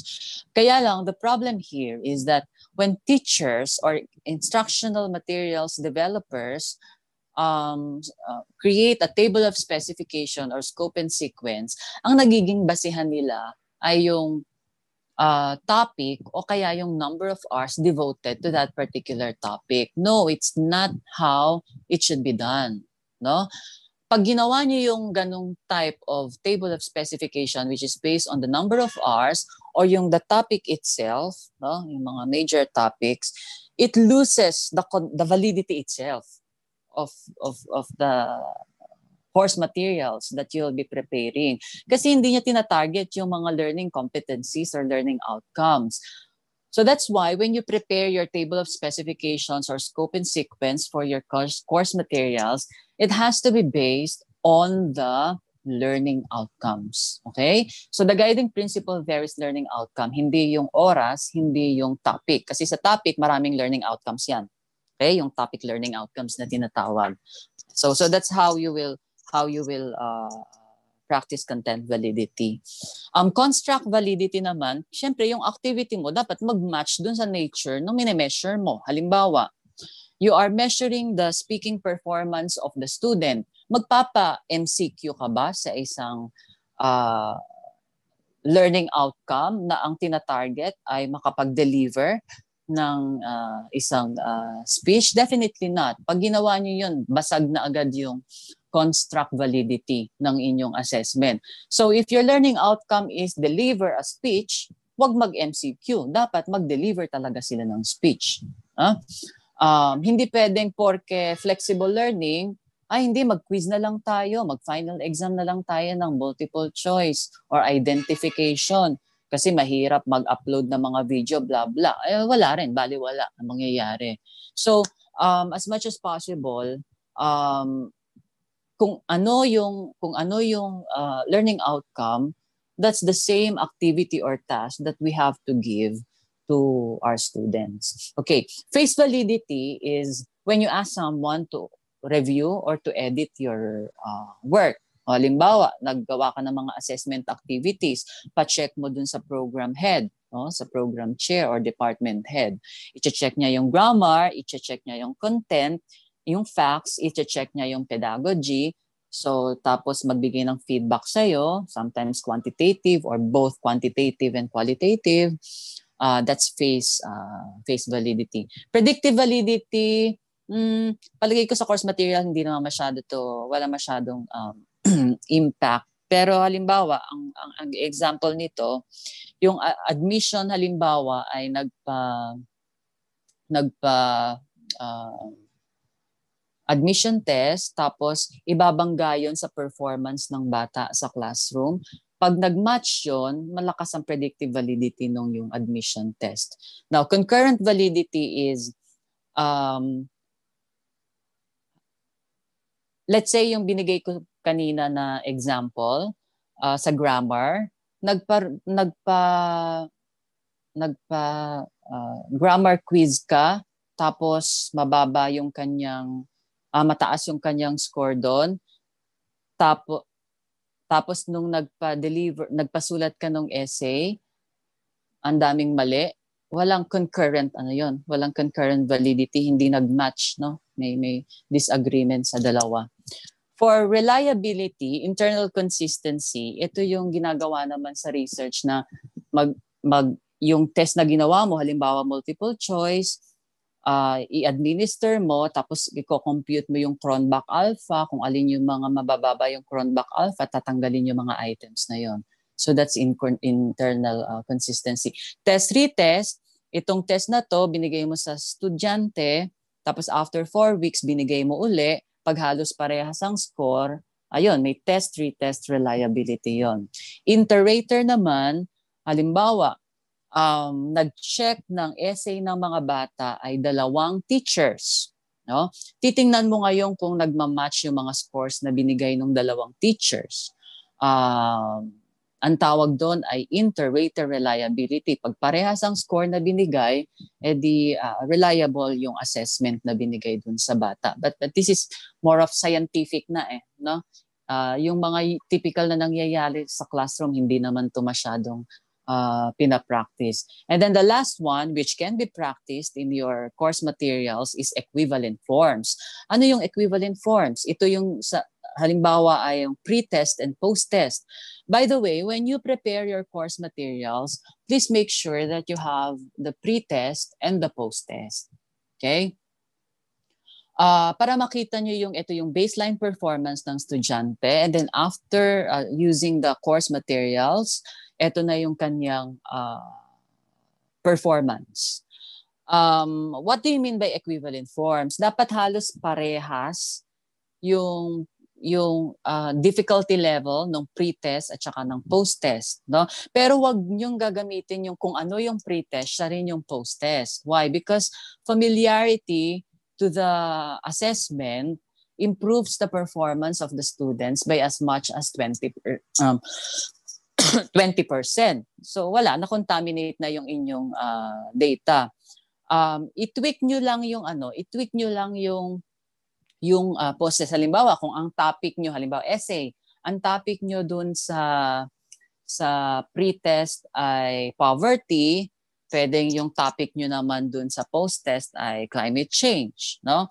Or pwede nyo namang papiliin yung estudyante ng topic sa pre-test, pwede nyo rin silang papiliin ng topic for their essay sa post-test, pero iba ng ibang ano, ibang kaibang topics yung pipiliin niya, okay? And these same principles can be applied in other uh, subject areas like computer science, engineering, humanities. Basta ganun ang principle, equivalent forms. Wag masyado, dapat parehas din ng difficulty level and format, no? Yung dalawang uh, uh, uh, tests. Okay. Um, ito yung example of sa validity naman, no? yung matching of action verbs to the assessment activity. Example, integrate technology in teaching uh, mathematics. O di magpapa-teaching demo ako. 'di ba? Tapos magpapagawa ako sa kanya ng lesson plan and then I'll be using a rubric or a checklist to assess the performance of the student. So, kita nyo, may validity kasi integrate technology sa teaching, tapos teaching demo yung papagawa ko. Exhibit the capacity for self-reflection, eh magpapagawa ako, papasulat ako ng reflective essay. Tapos yung reflective essay, I in assessing it, I'll be using a rubric also. Pero kapag reflective essay essay kasi o mga reflections, hindi nyo bibigyan ng grade yung the, the, halimbawa yung gamit ng language, no? Or yung the content itself. Ang inyo lang i-assess doon ay uh, kung kung kung malalim ba yung kanilang reflection, no? Pero crucial dito yung guide questions na ibibigay ninyo dun sa mga estudyante during reflection. Uh, kasi kapag napaka-generic ng inyong reflective question, edi ma-superficial yung reflection ng estudyante. So you'd rather give them uh, uh, guide, very good guide questions for their uh, reflection. And then another one is deliver deliver a five minute five minute extemporaneous speech. Of course, the assessment there is speech delivery. Uh, it will be assessed using a rubric. These are the six categories. Uh, kasi sa sobrang dami ng mga categories ng assessment, nalilito na yung iba. So I categorize this into six.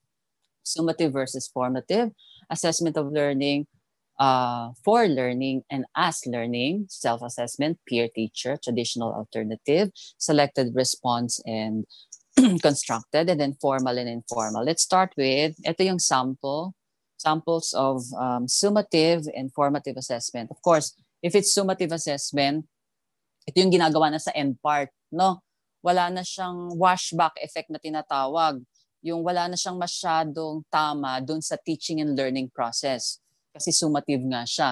Ang example niyan ay yung mga culminating task and activities. Although may tama yan sa next year level siguro or next term, uh, do- doon naman. Pero hindi masyado ano. Yung talagang meron, a good example of summative assessment ay yung mga board exams. Kasi pagka board exam mo, de-determine yan whether you pass or not. So, purely talaga, purely summative. Yung mga formative naman, ito yung may tama doon sa teaching and learning process, no? So sa kalagitnaan ng ng halimbawa ng isang term or semester, ito yung mga ginagawa natin like quizzes, yung mga enabling tasks and activities, yung portfolio, nagbibigay ka ng feedback, and then peer review when you ask your students to exchange their output and then give comments to each other's uh, work. Um, assessment, ito, very recent, not so recent pala. Um, 1990s, uh, unang na-introduce tong concept na to. assessment of learning, for learning, and as learning. Yung of learning is similar to summative. Uh, parehas lang sila. Yung for learning is similar to formative assessment. Yung assessment as learning It is also similar with formative assessment. Kaya lang, it is more of metacognition. No? Metacognition, meaning pag nag-reflect siya, pag uh, yung mga uh, learning journals niya, yung mga reading logs niya, no? So, if it relates to metacognition, then that, that's what you call uh, assessment as learning, no? A good example of this also is self-assessment nag-perform ako, i-assess ko yung sarili kong output using a rubric that's a form of assessment as learning. Um, ito, very clear naman ang distinction, self-assessment, yung estudyante yung gumawa. Um, peer assessment, you ask your classmate to evaluate your work or give feedback to your performance and output. And then uh, you have the teacher assessment. Um, as much as possible, yung self-assessment at saka peer assessment ay hindi dapat yan talaga kasama sa computation of grade.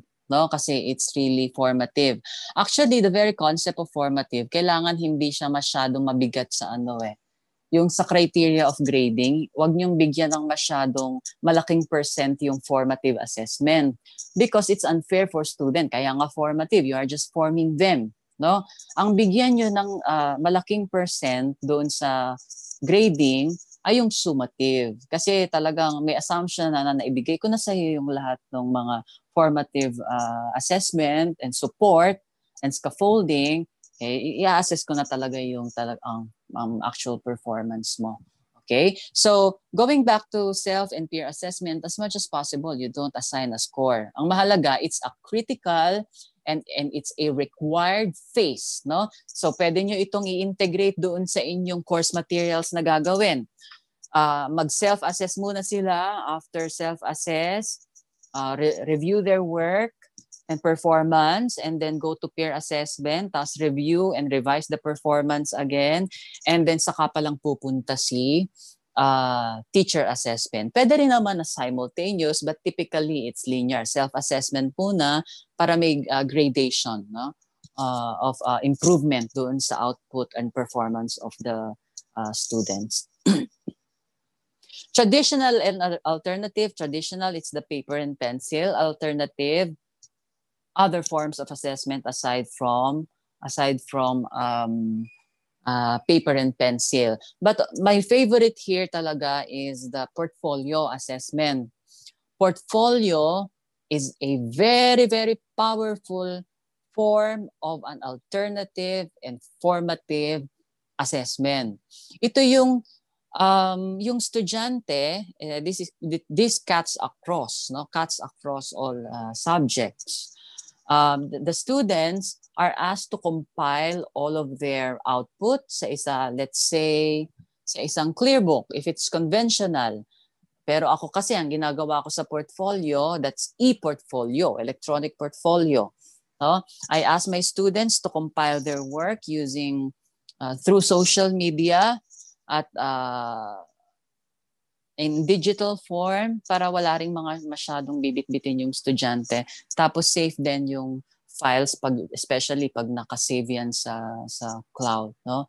So portfolio or e-portfolio is a very very powerful powerful form of assessment. It will take us a whole day to discuss how to do uh, portfolio. But typically yung mga best output nila yung nilalagay diyan tapos uh, nagre-reflect ang bata dun sa kanilang development yung kanilang progress over one term or one semester And then, yon, uh, students also are graded based on a certain criteria. Okay, next is selected response and constructed response. Um, selected response, may options, syempre, yung mga students like multiple choice, true or false. Yung mga constructed response naman, students will will put a specific answer to the to the question like fill in the blanks, identification, yan, yung mga performance-based assessments, um, yun yung uh, examples of constructed response um, assessment. Yung closed test naman, para din yung fill in the uh, fill in the blanks, no? Parang it's the sophisticated version lang. Example, I'll I'll get one text from a newspaper tapos iba-blanko ko lahat doon yung mga uh, verbs tapos the students will supply the correct verbs doon sa mga blanks sa, sa doon sa blanks doon sa uh, worksheet which is uh, taken from the newspaper. So that's what we mean by closed test. Formal and informal. Itong formal ito yung mga standard no standardized standardized test. Yung informal naman, these are the types of assessment that we do inside the classroom. So if you will notice, yung lahat ng mga lahat ng mga assessment uh, activities na to, may mga overlapping at may mga crisscrossing na nangyayari. But at least um, you would know now how to distinguish one type of assessment from others. Uh, and you would be able to know now how you will be combining all of these assessment activities to make sure that uh, you will be hitting all the, the learning outcomes that you will be targeting no, for your course materials. Now, going to uh, technology enhanced assessment, I've mentioned a while back e-portfolio. So you can use, you can actually save it in a CD if you want. You can save it in cloud or Google Drive. Pwede rin naman yon. Pero ang most powerful kasi is kailangan may target audience. No? That's why you can explore social media as an e-portfolio uh, platform. now, you can also ask your students to do some online tasks and tests. Ito yung uh, na-mention ko kanina dun sa mga books that I uh, prepare. Merong portion doon uh, that students will visit those links and then the students will answer those activities online. Technology-mediated tasks and activities. In case na magkaroon na kayo ng face-to-face, uh, face-to-face um, sessions,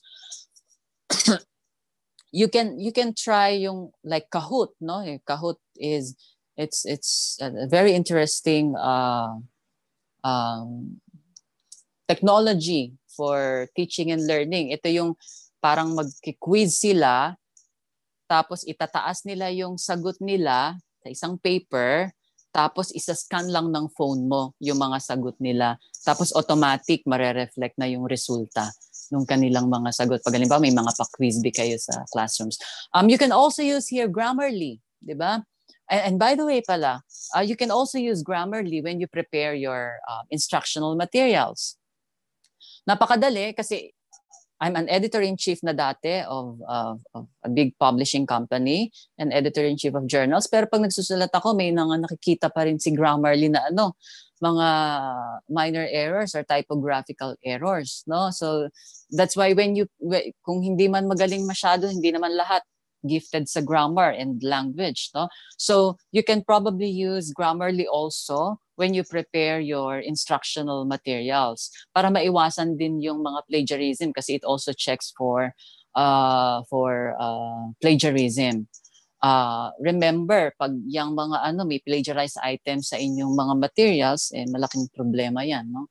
That's a very big legal and administrative uh, issue. So just to be sure that nothing is plagiarized. Same thing with our students when we ask them to do some uh, papers, no research papers, and then uh, reports.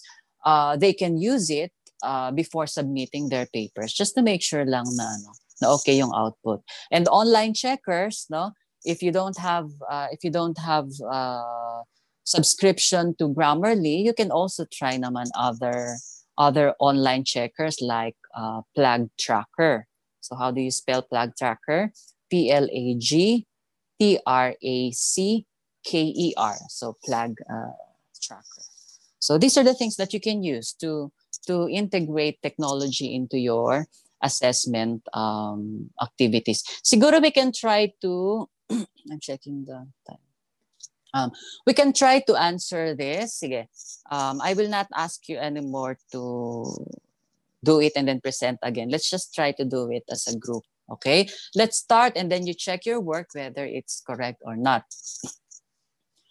Um, so we have here the learning outcomes sa column A. And then sa column B, um, you will be giving, no? you will give, be giving the appropriate assessment for that particular learning outcome just to ensure the validity of your assessment. So let's try to do this one. First, identify the different statistical tools in processing quantitative data. Sige, what's the activity, the assessment activity that you will be uh, using for that one?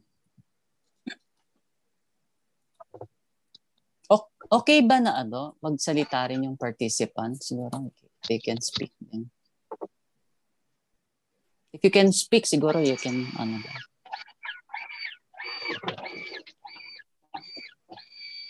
Okay, so for the first item, uh, since the keyword there is identify, eh di syempre yung assessment activity mo is pwedeng quiz, 'di ba? Identification type ng inyong uh, quiz. Uh, second is explain the impact of globalization on the Philippine economy. Or the keyword there is explain. So what assessment activity will you give to your students? Number one, you can use uh, essay, diba? And then they will, you can give a question and then they will write an essay. Pwede rin naman yung simple na recitation, diba? You will ask them this question and then they will respond to the to the question. Yun lang kapag ano siya, kapag um, kapag uh, recitation siya, parang isang bagsakan na question lang to, no? Hindi makakasal hindi mabibigyan ng opportunity yung iba. So, unlike essay, all of them simultaneously will answer the question and then you just ask them to present their individual answers. So, or after writing an individual answer, they can group again and then consolidate their their uh, answers. Next, calculate the standard deviation of data sets. Calculate. De, Siyempre, you will ask your students to, pwede may mga problem-solving activities. Tapos yun, magsasagot yung inyong uh, estudyante. Dito, pwede MCQ. Pwede rin namang yung hindi MCQ, open-ended. So it's up to you which one you uh, want to, uh, which one which one you would like to um, explore. Differentiate biodegradable from uh, non-biodegradable. okay? Um, if uh, pwedeng pwedeng ano, pwede tong ano, pwedeng um, essay din. You can ask your students to make an essay or siguro you can ask them to group themselves and then uh, into three members and then they will come up with a Venn diagram or they will try to creatively they will try to creatively present the difference between biodegradable and non-biodegradable. Uh, yung iba pwedeng via song, via illustration, kasi to address din naman yung multiple intelligences of the students. But that's just one of the many options that you can you can uh, do. Next is critique a newspaper article. Of course, what you can do there is uh, you can ask your students to write a critique paper or a review paper or ano nga ba yung very popular term na ginagamit dyan? Uh, reaction paper. Yun. Yun ang kalimitang ginagamit eh sa basic ed eh. Uh, so you can ask your students to do those activities para lang ma-ensure tong uh, LO na to. And then the last one is compose an effective persuasive essay. Definitely you'll ask your students to uh, write an essay. So again, what what what am I emphasizing here? When you create an assessment activity, look at the verb. Okay? You have to look at the verb of your learning outcomes and you have to make sure that the assessment activity that you will give to your students really 100% matches the verb that was used in the learning outcome. Again, as much as possible to ensure reliability also and to check reliability, you give at least two activities uh, for each uh, learning outcome. To give then the students naman uh, ample options no or selections of assessment uh, activities. Okay? Siguro I may not uh, ask you to do this uh, activity three anymore. It's almost similar to the first one, to the first one that uh, I ask you to do. Nilagyan lang natin ng grasp no sa performance test. So let me explain to you what grasps is kasi it's an acronym. Remember, I told you that assessment is an umbrella. Under that is the task and exercises. So itong grasp, applicable lang yan dun sa task. Okay? Yung mga real life activities. Why? Ano ba yung ibig sabihin ng G? G is goal. What's the goal of the activity? R is the role of the students in that activity. A is the audience of the activity. S is the um, situation, no? Ano yung konteksto ng activity? P is the performance or the product. Ano yung pinaka-output? And then S is the standards or the rubric or yung assess pa kung paano mo isuscore or evaluate yung performance. Uh, let me give you a specific example. Um, halimbawa, barangay uh, barangay 2, 240 is uh, soliciting blood donations from barangay 2, 201 is soliciting blood donations from the uh, from the youth now you are tasked to uh, deliver and uh, to, to prepare an advocacy campaign that will uh, convince the youth to donate uh, blood to barangay. Okay? Uh, you will be assessed, your output will be assessed based on the following criteria content, uh, format, and uh, ano pa ba? Content, format, and uh, uh, accuracy. Yan. So ano yung goal doon? The goal doon of yung sa activity na nilagay nyo dun sa description of the task is uh, to convince the youth, di ba? Ano ang role? Probably your role is you are a barang uh, uh, youth leader in that barangay. Who are your audience? Your audience are the youth in your barangay. What is the situation? Of course, the context and the situation is that it's happening in barangay uh, context. Now, what's your product or performance? Um, your uh, product is an advocacy campaign no, that will convince uh, the youth. And then what is your S? That's the standards.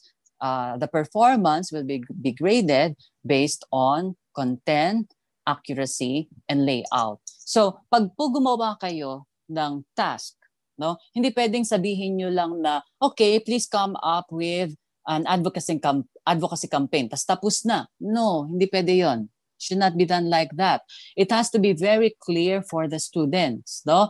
Kaya um, kailangan kailangan talaga you really have to clearly and uh, comprehensively stipulate itong grasps when you develop the tasks for your uh, students. So again, grasp, G is goal, R is role, A is audience, S is situation, P is product or performance, and then S is uh, standards. Okay.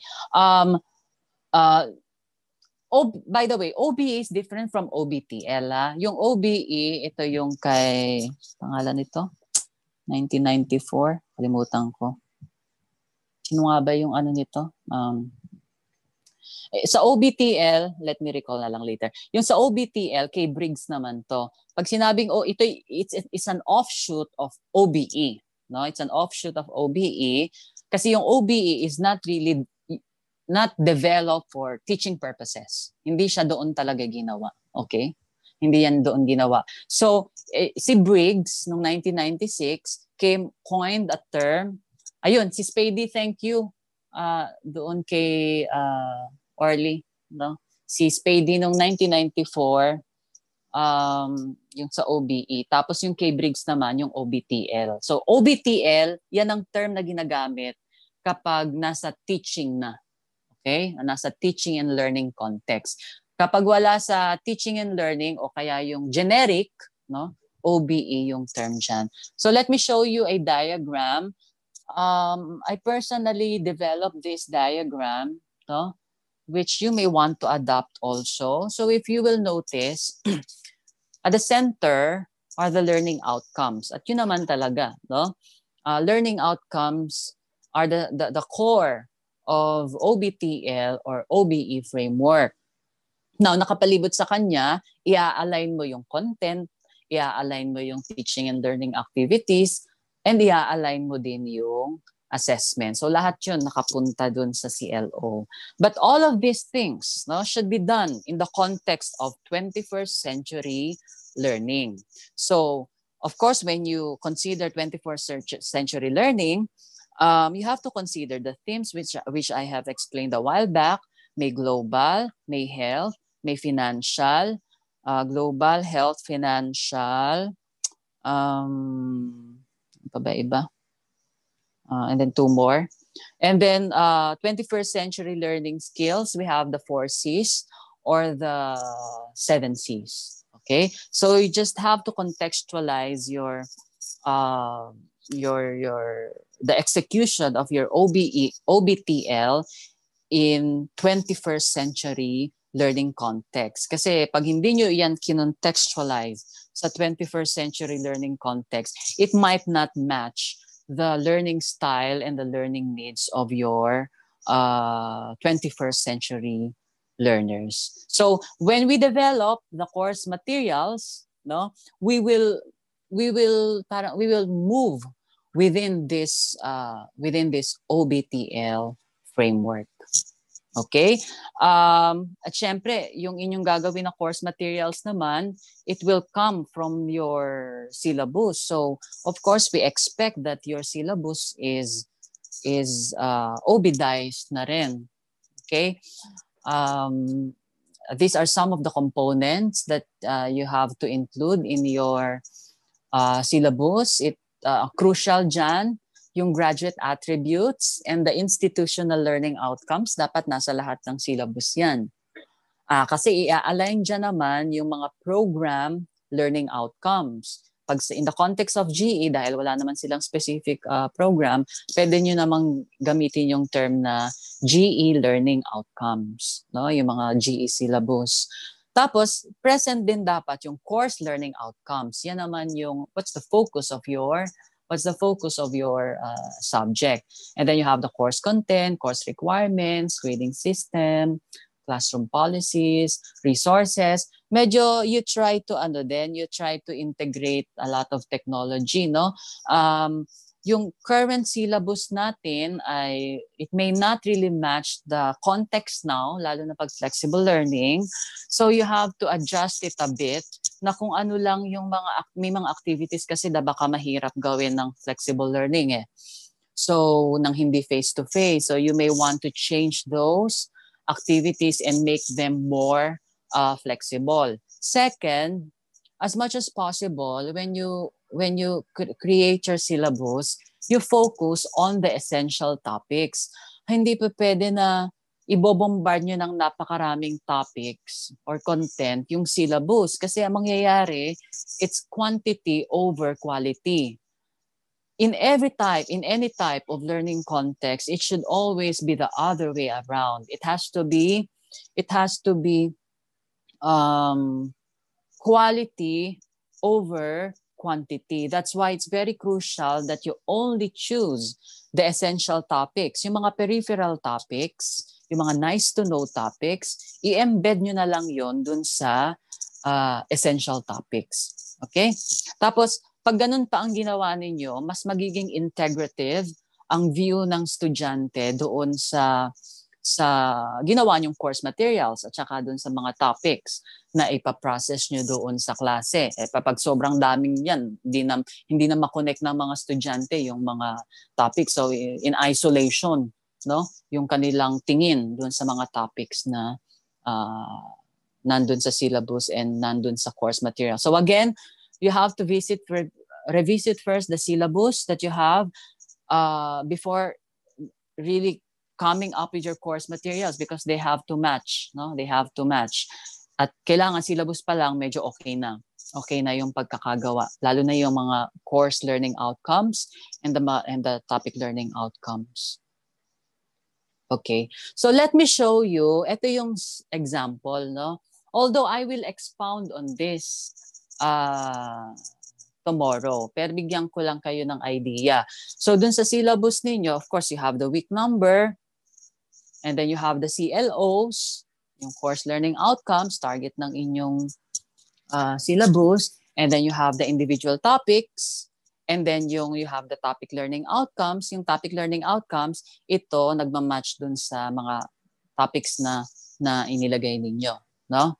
So again, we try let's try to distinguish yung CLO sa TLOs. Yung CLO, syllabus level. Yung TLO, that's the lesson level. Okay, na mga learning outcomes. And then, if you will notice assessment activities, pagkarami-rami, di ba? You will see this.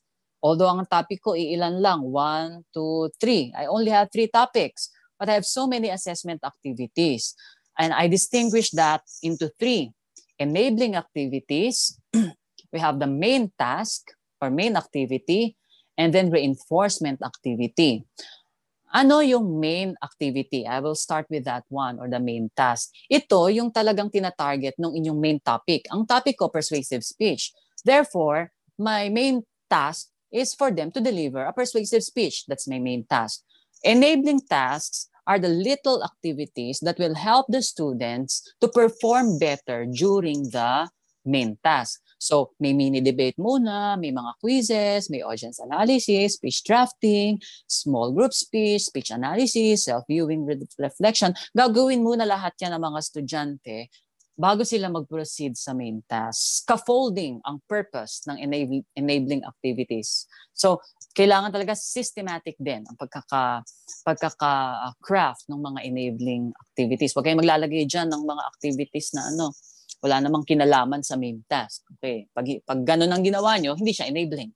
Okay? And then reinforcement task is, this is uh, an, uh, an additional activity aside from the main task. So in this case, after delivering their speech, eh, papagawain ko pa sila ng advocacy, ano, advocacy video. Kasi yung topic naman nila ng uh, persuasive speech is about a social issue and then I'll ask uh, I'll ask them to ano to post their advocacy uh, video via YouTube or via uh, via Facebook probably. Now, yung methodology, yung assessment activity, assessment column, that's from the perspective of the student. Yan ang mga gagawin ng mga estudyante.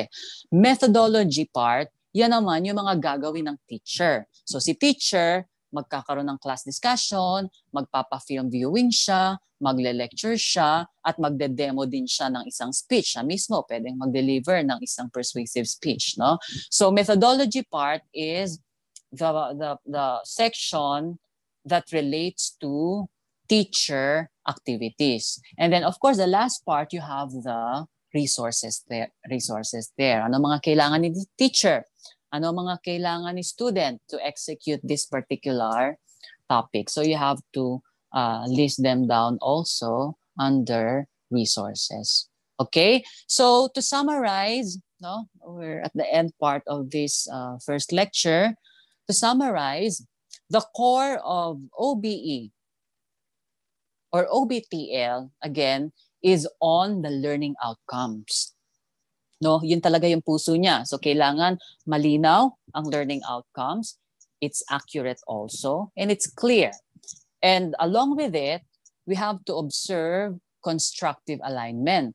And what you mean by constructive alignment is that your learning outcomes, your teaching and learning activities, your assessment and your content are are aligned no with each other along with the performance tasks. Also, to ensure valid and reliable assessment, you have to make sure that it directly hits your learning outcomes. And as much as possible, for each learning outcome, you have to provide at least two activities. Okay. And then the last part is uh, the last note is it's either because uh, technology is unavoidable now no?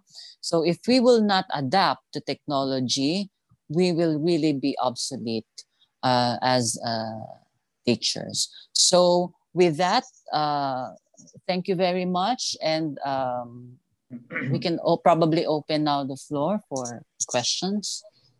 So there you go. Thank you very much, Dr. Jesse Barot, for a very um, interactive and informative presentation about Mm. student-centered OBE model for module designs. Thank you very much, sir. Yeah. Thank you. So this, yeah, uh, this very moment, we now open our questions from our participants. Again, we remind everyone that firstly, we will take questions from participants joining us here via Zoom. Thereafter, questions from Facebook Live will be entertained and we hope that our time permits for us to accommodate more questions. So uh, those in Zoom, just click the hand raise button or you can open your video for, for us to see you to be recognized or you can simply type your questions in the chat room. Um, we also, uh, we already have a question, Sir Jesse from, Mhm. Mm, okay, a moment please. a, questions, a question from Sir Jeffrey Lloyd Kagande from Visayas State University. Um, considering the, the expanded learning opportunities as one of the principles in OBE, teachers provide more reinforcement activities to students enrolled in the course. We also consider the capacity of the students to take in or perform these activities. Is there a formula for the number of courses students can take at the same time?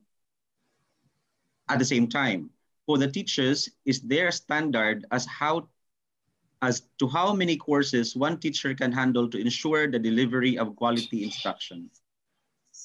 Um, so so the, the question relates to the number of subjects that the teacher will handle.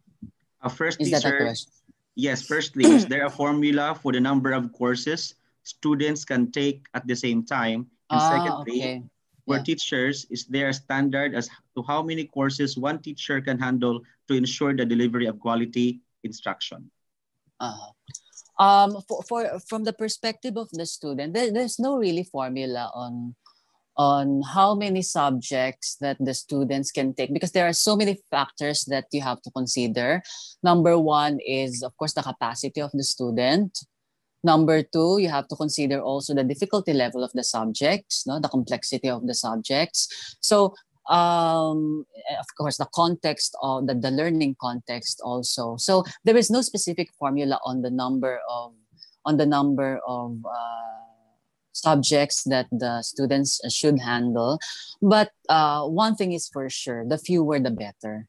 Uh, because uh, if it's fewer, then the absorption rate and the assimilation of knowledge is is higher if there are so many so many subjects that the students are taking especially if because there's also a science in the curriculum no hindi pwedeng bato ka lang ng bato ito topic na to dito sa first sem tapos ito second sem tapos ito naman first sem may science din doon sa paggrupo ng mga subjects per SEM. So, kailangan tinitingnan din yon para kahit kung marami yung mga subjects na i-offer, hindi rin disintegrated. No? Um, halimbawa, limang subjects, um, kaya ng student na pagdikit-dikitin yung limang subjects para uh, para para mas integrative, no? Integrative. The keyword here is integrative learning. Hindi dapat in isolation yon. So there are so many factors that you have to consider uh, regarding the maximum number of subjects that the students can handle. But the basic principle is the fewer the better, and the more related the subjects are, the better in one term. And for the teachers naman, um, if we will base it on international standard, um, typically yung sa isa sa abroad kasi uh, 12 limitan 12 hours lang talaga ang ano nila yung teaching no? Teaching in a week is uh, 12 hours. Meron pa diyan pag halimbawang depende sa rank no? If you are a university professor uh, like in universities in Hong Kong uh, mga 6 hours lang ang teaching and the rest will be devoted to uh, will be devoted to uh, research. But for the purpose of delivering flexible learning for students, um, I think naman yung currently nasa wag lang lalampas siguro sa ano. May mga universities nga 24 is too many actually. Yung 24 units, no? That's too many. 18 nasa threshold 'yon. Uh, 18 below maganda. That that would be a good number. But the fewer of course the better. Okay, so thank you very much, sir. Um, there is another question from VSU, uh, Sir Geraldo Fernandez. How much is the ideal student class size for flexible learning? Um, if it's pag class, pag, of course, pag face-to-face, pag may face-to-face na, the ideal is no more than 35 in a room. No? Pag yan ay face-to-face. Sa online naman, um, it depends on the ability of the ability of the teacher to handle large classes but you can have as many as 40 students in one class if it's an online class. Uh, and it also depends on the platform that you are using. May mga platforms na may mga limitations but hopefully it should not be more than uh, 40 students. Uh, that would be that would be an ideal one Okay, thank you, sir. So we have another question from um, EVSU, Pearl Carnis, ma'am. Uh, is it okay to give more weeks time for a certain course outcome? There are cases that few lessons or units will go under one course outcome. Yeah, that's that's happening, no? Um, may mga topic na talagang bubunuin mo or may mga learning outcome bunuin mo siya ng several weeks. At may mga learning outcomes naman na one week lang. May mga learning outcomes naman na uh, dispersed siya talaga from start to end. So again, it really depends on the nature of the learning outcomes that you have. At hindi yan yung fix na itong learning outcome one, ito number of weeks. No, you cannot do that. It, you have to look into the nature of the learning outcome no, and how it is placed in your uh, syllabus and that will dictate the number of sessions that you will devote to that particular learning outcome or topic. Okay, thank you very much, sir. Uh, do we have more questions coming from this group? you can please um, just click the hand raise button or you can open your video to be recognized. So I guess we don't have further questions from the Zoom. Uh, we have questions from our Facebook Live, sir. Mm-hmm. Um, oh, naka-Facebook Live pala? Yes, sir. Wow. we are also live via Facebook. Oh. Okay, um, it is from Iski Zali um, on the idea of activities versus task versus exercise. mm-hmm. Please reiterate contrasting exercise from task, this being real life based, right? Since seemingly exercises were like written tests based on your examples earlier. Could you please exemplify more since I thought these three are vital in writing the module? Edit. Uh, meaning I expound on the exercises? Malinaw Um, naman sa kanya yung task and activities, ano? Yes, sir. I think it was more on the contrasting uh, example you gave earlier. Ah, the exercises. Okay. So, uh, kanina, I, I gave a lot of examples for task like bank transactions, yung estudyante ay magkakaroon ng teaching demo, oh, that one is uh, that one is a task, no? Tapos yung yung exercise ito na lang just to distinguish. Pag exercise may may one correct answer. Kapag task, walang one correct answer. Okay. So, if you will have MCQ, di ba may one correct answer, exercise. Pag halimbawa identification, one correct answer, exercise. If you will write an essay, does it have any one right correct answer? None, so it's a task. If you have like true or false, it has one correct answer, so that is exercise. So that can easily distinguish it probably. Okay, sir. Thank you very much. Um, another question from our Facebook Live from Stephen Johnson. Is it still advisable to conduct quizzes as a summative assessment, knowing that students will screenshot and share their answers to their classmates as a way of cheating their tests? If yes, what intervention should be made to avoid or lessen it? Um, on whether it is appropriate as, as a summative assessment or not, it depends on the learning outcomes that you have. No? Pag, may mga pati, it depends on the nature of the subject. There are subjects that will really require you to have uh, like yung mga MCQ type, no? mga problem, alimbawa sa mathematics, no? Puro nasa conceptual realm yun eh. Tapos kapag sumagot sila sa mga sa mga exercises, eh talaga namang pa- paper and pencil 'yon, mga uh, selected response type yung kaninang nabanggit ko. Uh, may, may mga subject naman na kailangan mga task, no? Like sa English, like uh, basta yung mga skill-based subjects, ano yan, mga tasks yan. Pero may mga conceptual subjects. So malamang andun nasa realm of concepts lang yan, mahirap i-execute sa task. So ang summative mo niyan, mga final exam would be yung mga multiple choice type. Now, on the question regarding the security no of the para to avoid then the the cheating the the students if it's uh, real time or, or synchronous pwede naman silang sabay-sabay na sumagot. May specific time lang magse-send ang halimbawa si teacher ng link sa kanilang mga estudyante tapos may time limit yon oras na clinic nila yung clinic nila yung um, yung link na yon, pag sumagot na sila doon, timed yon.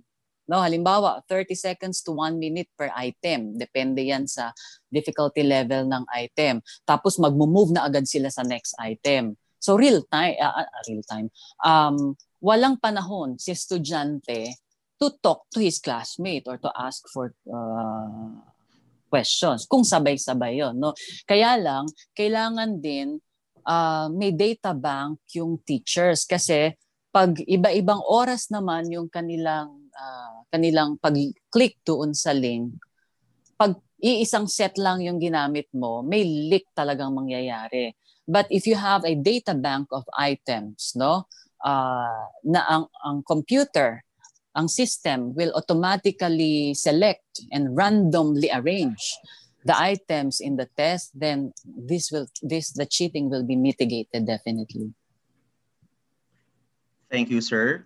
Uh, we have another from Zoom, from NWSSU, uh, Mom Lucille. Our practice in making TOS is we base the number of items on the time consumed per topic. Please elaborate why we need to change this practice because it's not valid. Um, it has to be based on learning outcomes because at the end of the day, all the activities inside the classroom uh, moves within the learning outcomes and not on the time allotted to them. Ano na lang yun, parang indirect na lang na effect yung time. Kasi minsan, pag complicated yung learning outcome mo, mas malaking time ang ide-devote. After effect na lang yung time. But essentially, it's really the learning outcomes that will should guide you in uh, preparing the table of specifications. Thank you, sir. And we have one more from our Facebook Live from Mamrina Villarosa Pedrosa. What is the ideal number of learning outcomes in one course or subject? Ang sinasabi ng ibang expert is it should not go beyond 8 or should not go beyond 6. But again, it depends on the subject. No? But I think it to make it very manageable, yung mga 6 siguro would be okay. Just to make it more manageable. But again, it really depends because you have to align it to the institutional learning outcomes and you have to align it to the program learning outcomes. Hindi pwedeng mag, may mag-mismatch dyan. So, titingnan mo din yun. Pwedeng lumampas ka sa 6 kasi you have to address some of the PLOs in the, uh, yung sa CMO. Diba? At saka yung nandun sa institutional learning outcome. Uh, so there's no fix, but some people are, some experts are saying that 6 would be okay. That would be reasonable. Okay, uh, thank you very much, Sir Jesse. Uh, I think there are no more questions uh, here in our mm -hmm. Zoom room and also from our Facebook Live. I think that ends our, our question and answer time as regards to your presentation this afternoon. Mm -hmm. Thank you so much to all of you. It's really a pleasure to, to talk to a group of educators from Region 8 again. And of course, sir, we are also very glad that you have joined us uh, here this afternoon and sharing more of the information yeah. that we need for our uh, writing. Uh, Tomorrow, mas focus yun. Kasi ano na yun, course materials. Yun na talaga yung application of the things that we talked about now. Of course, sir, we will be expecting Yeah, more uh, uh, tomorrow. yes. So again, thank you very much, Dr. Jesse Barrett. Thank you so much. Thank you so much. Okay, Can I- so uh, yes, ano sir. Go ahead. na ba? Or what? Pwede na ba? Um, okay, yes. Or Yes, wala sir. na? Okay na? Opo. Okay, sige. Thank you so much. Okay, so for our participants, uh, uh, uh, Sir Early, we would like to request that we flash on the screen the link for our attendance this afternoon.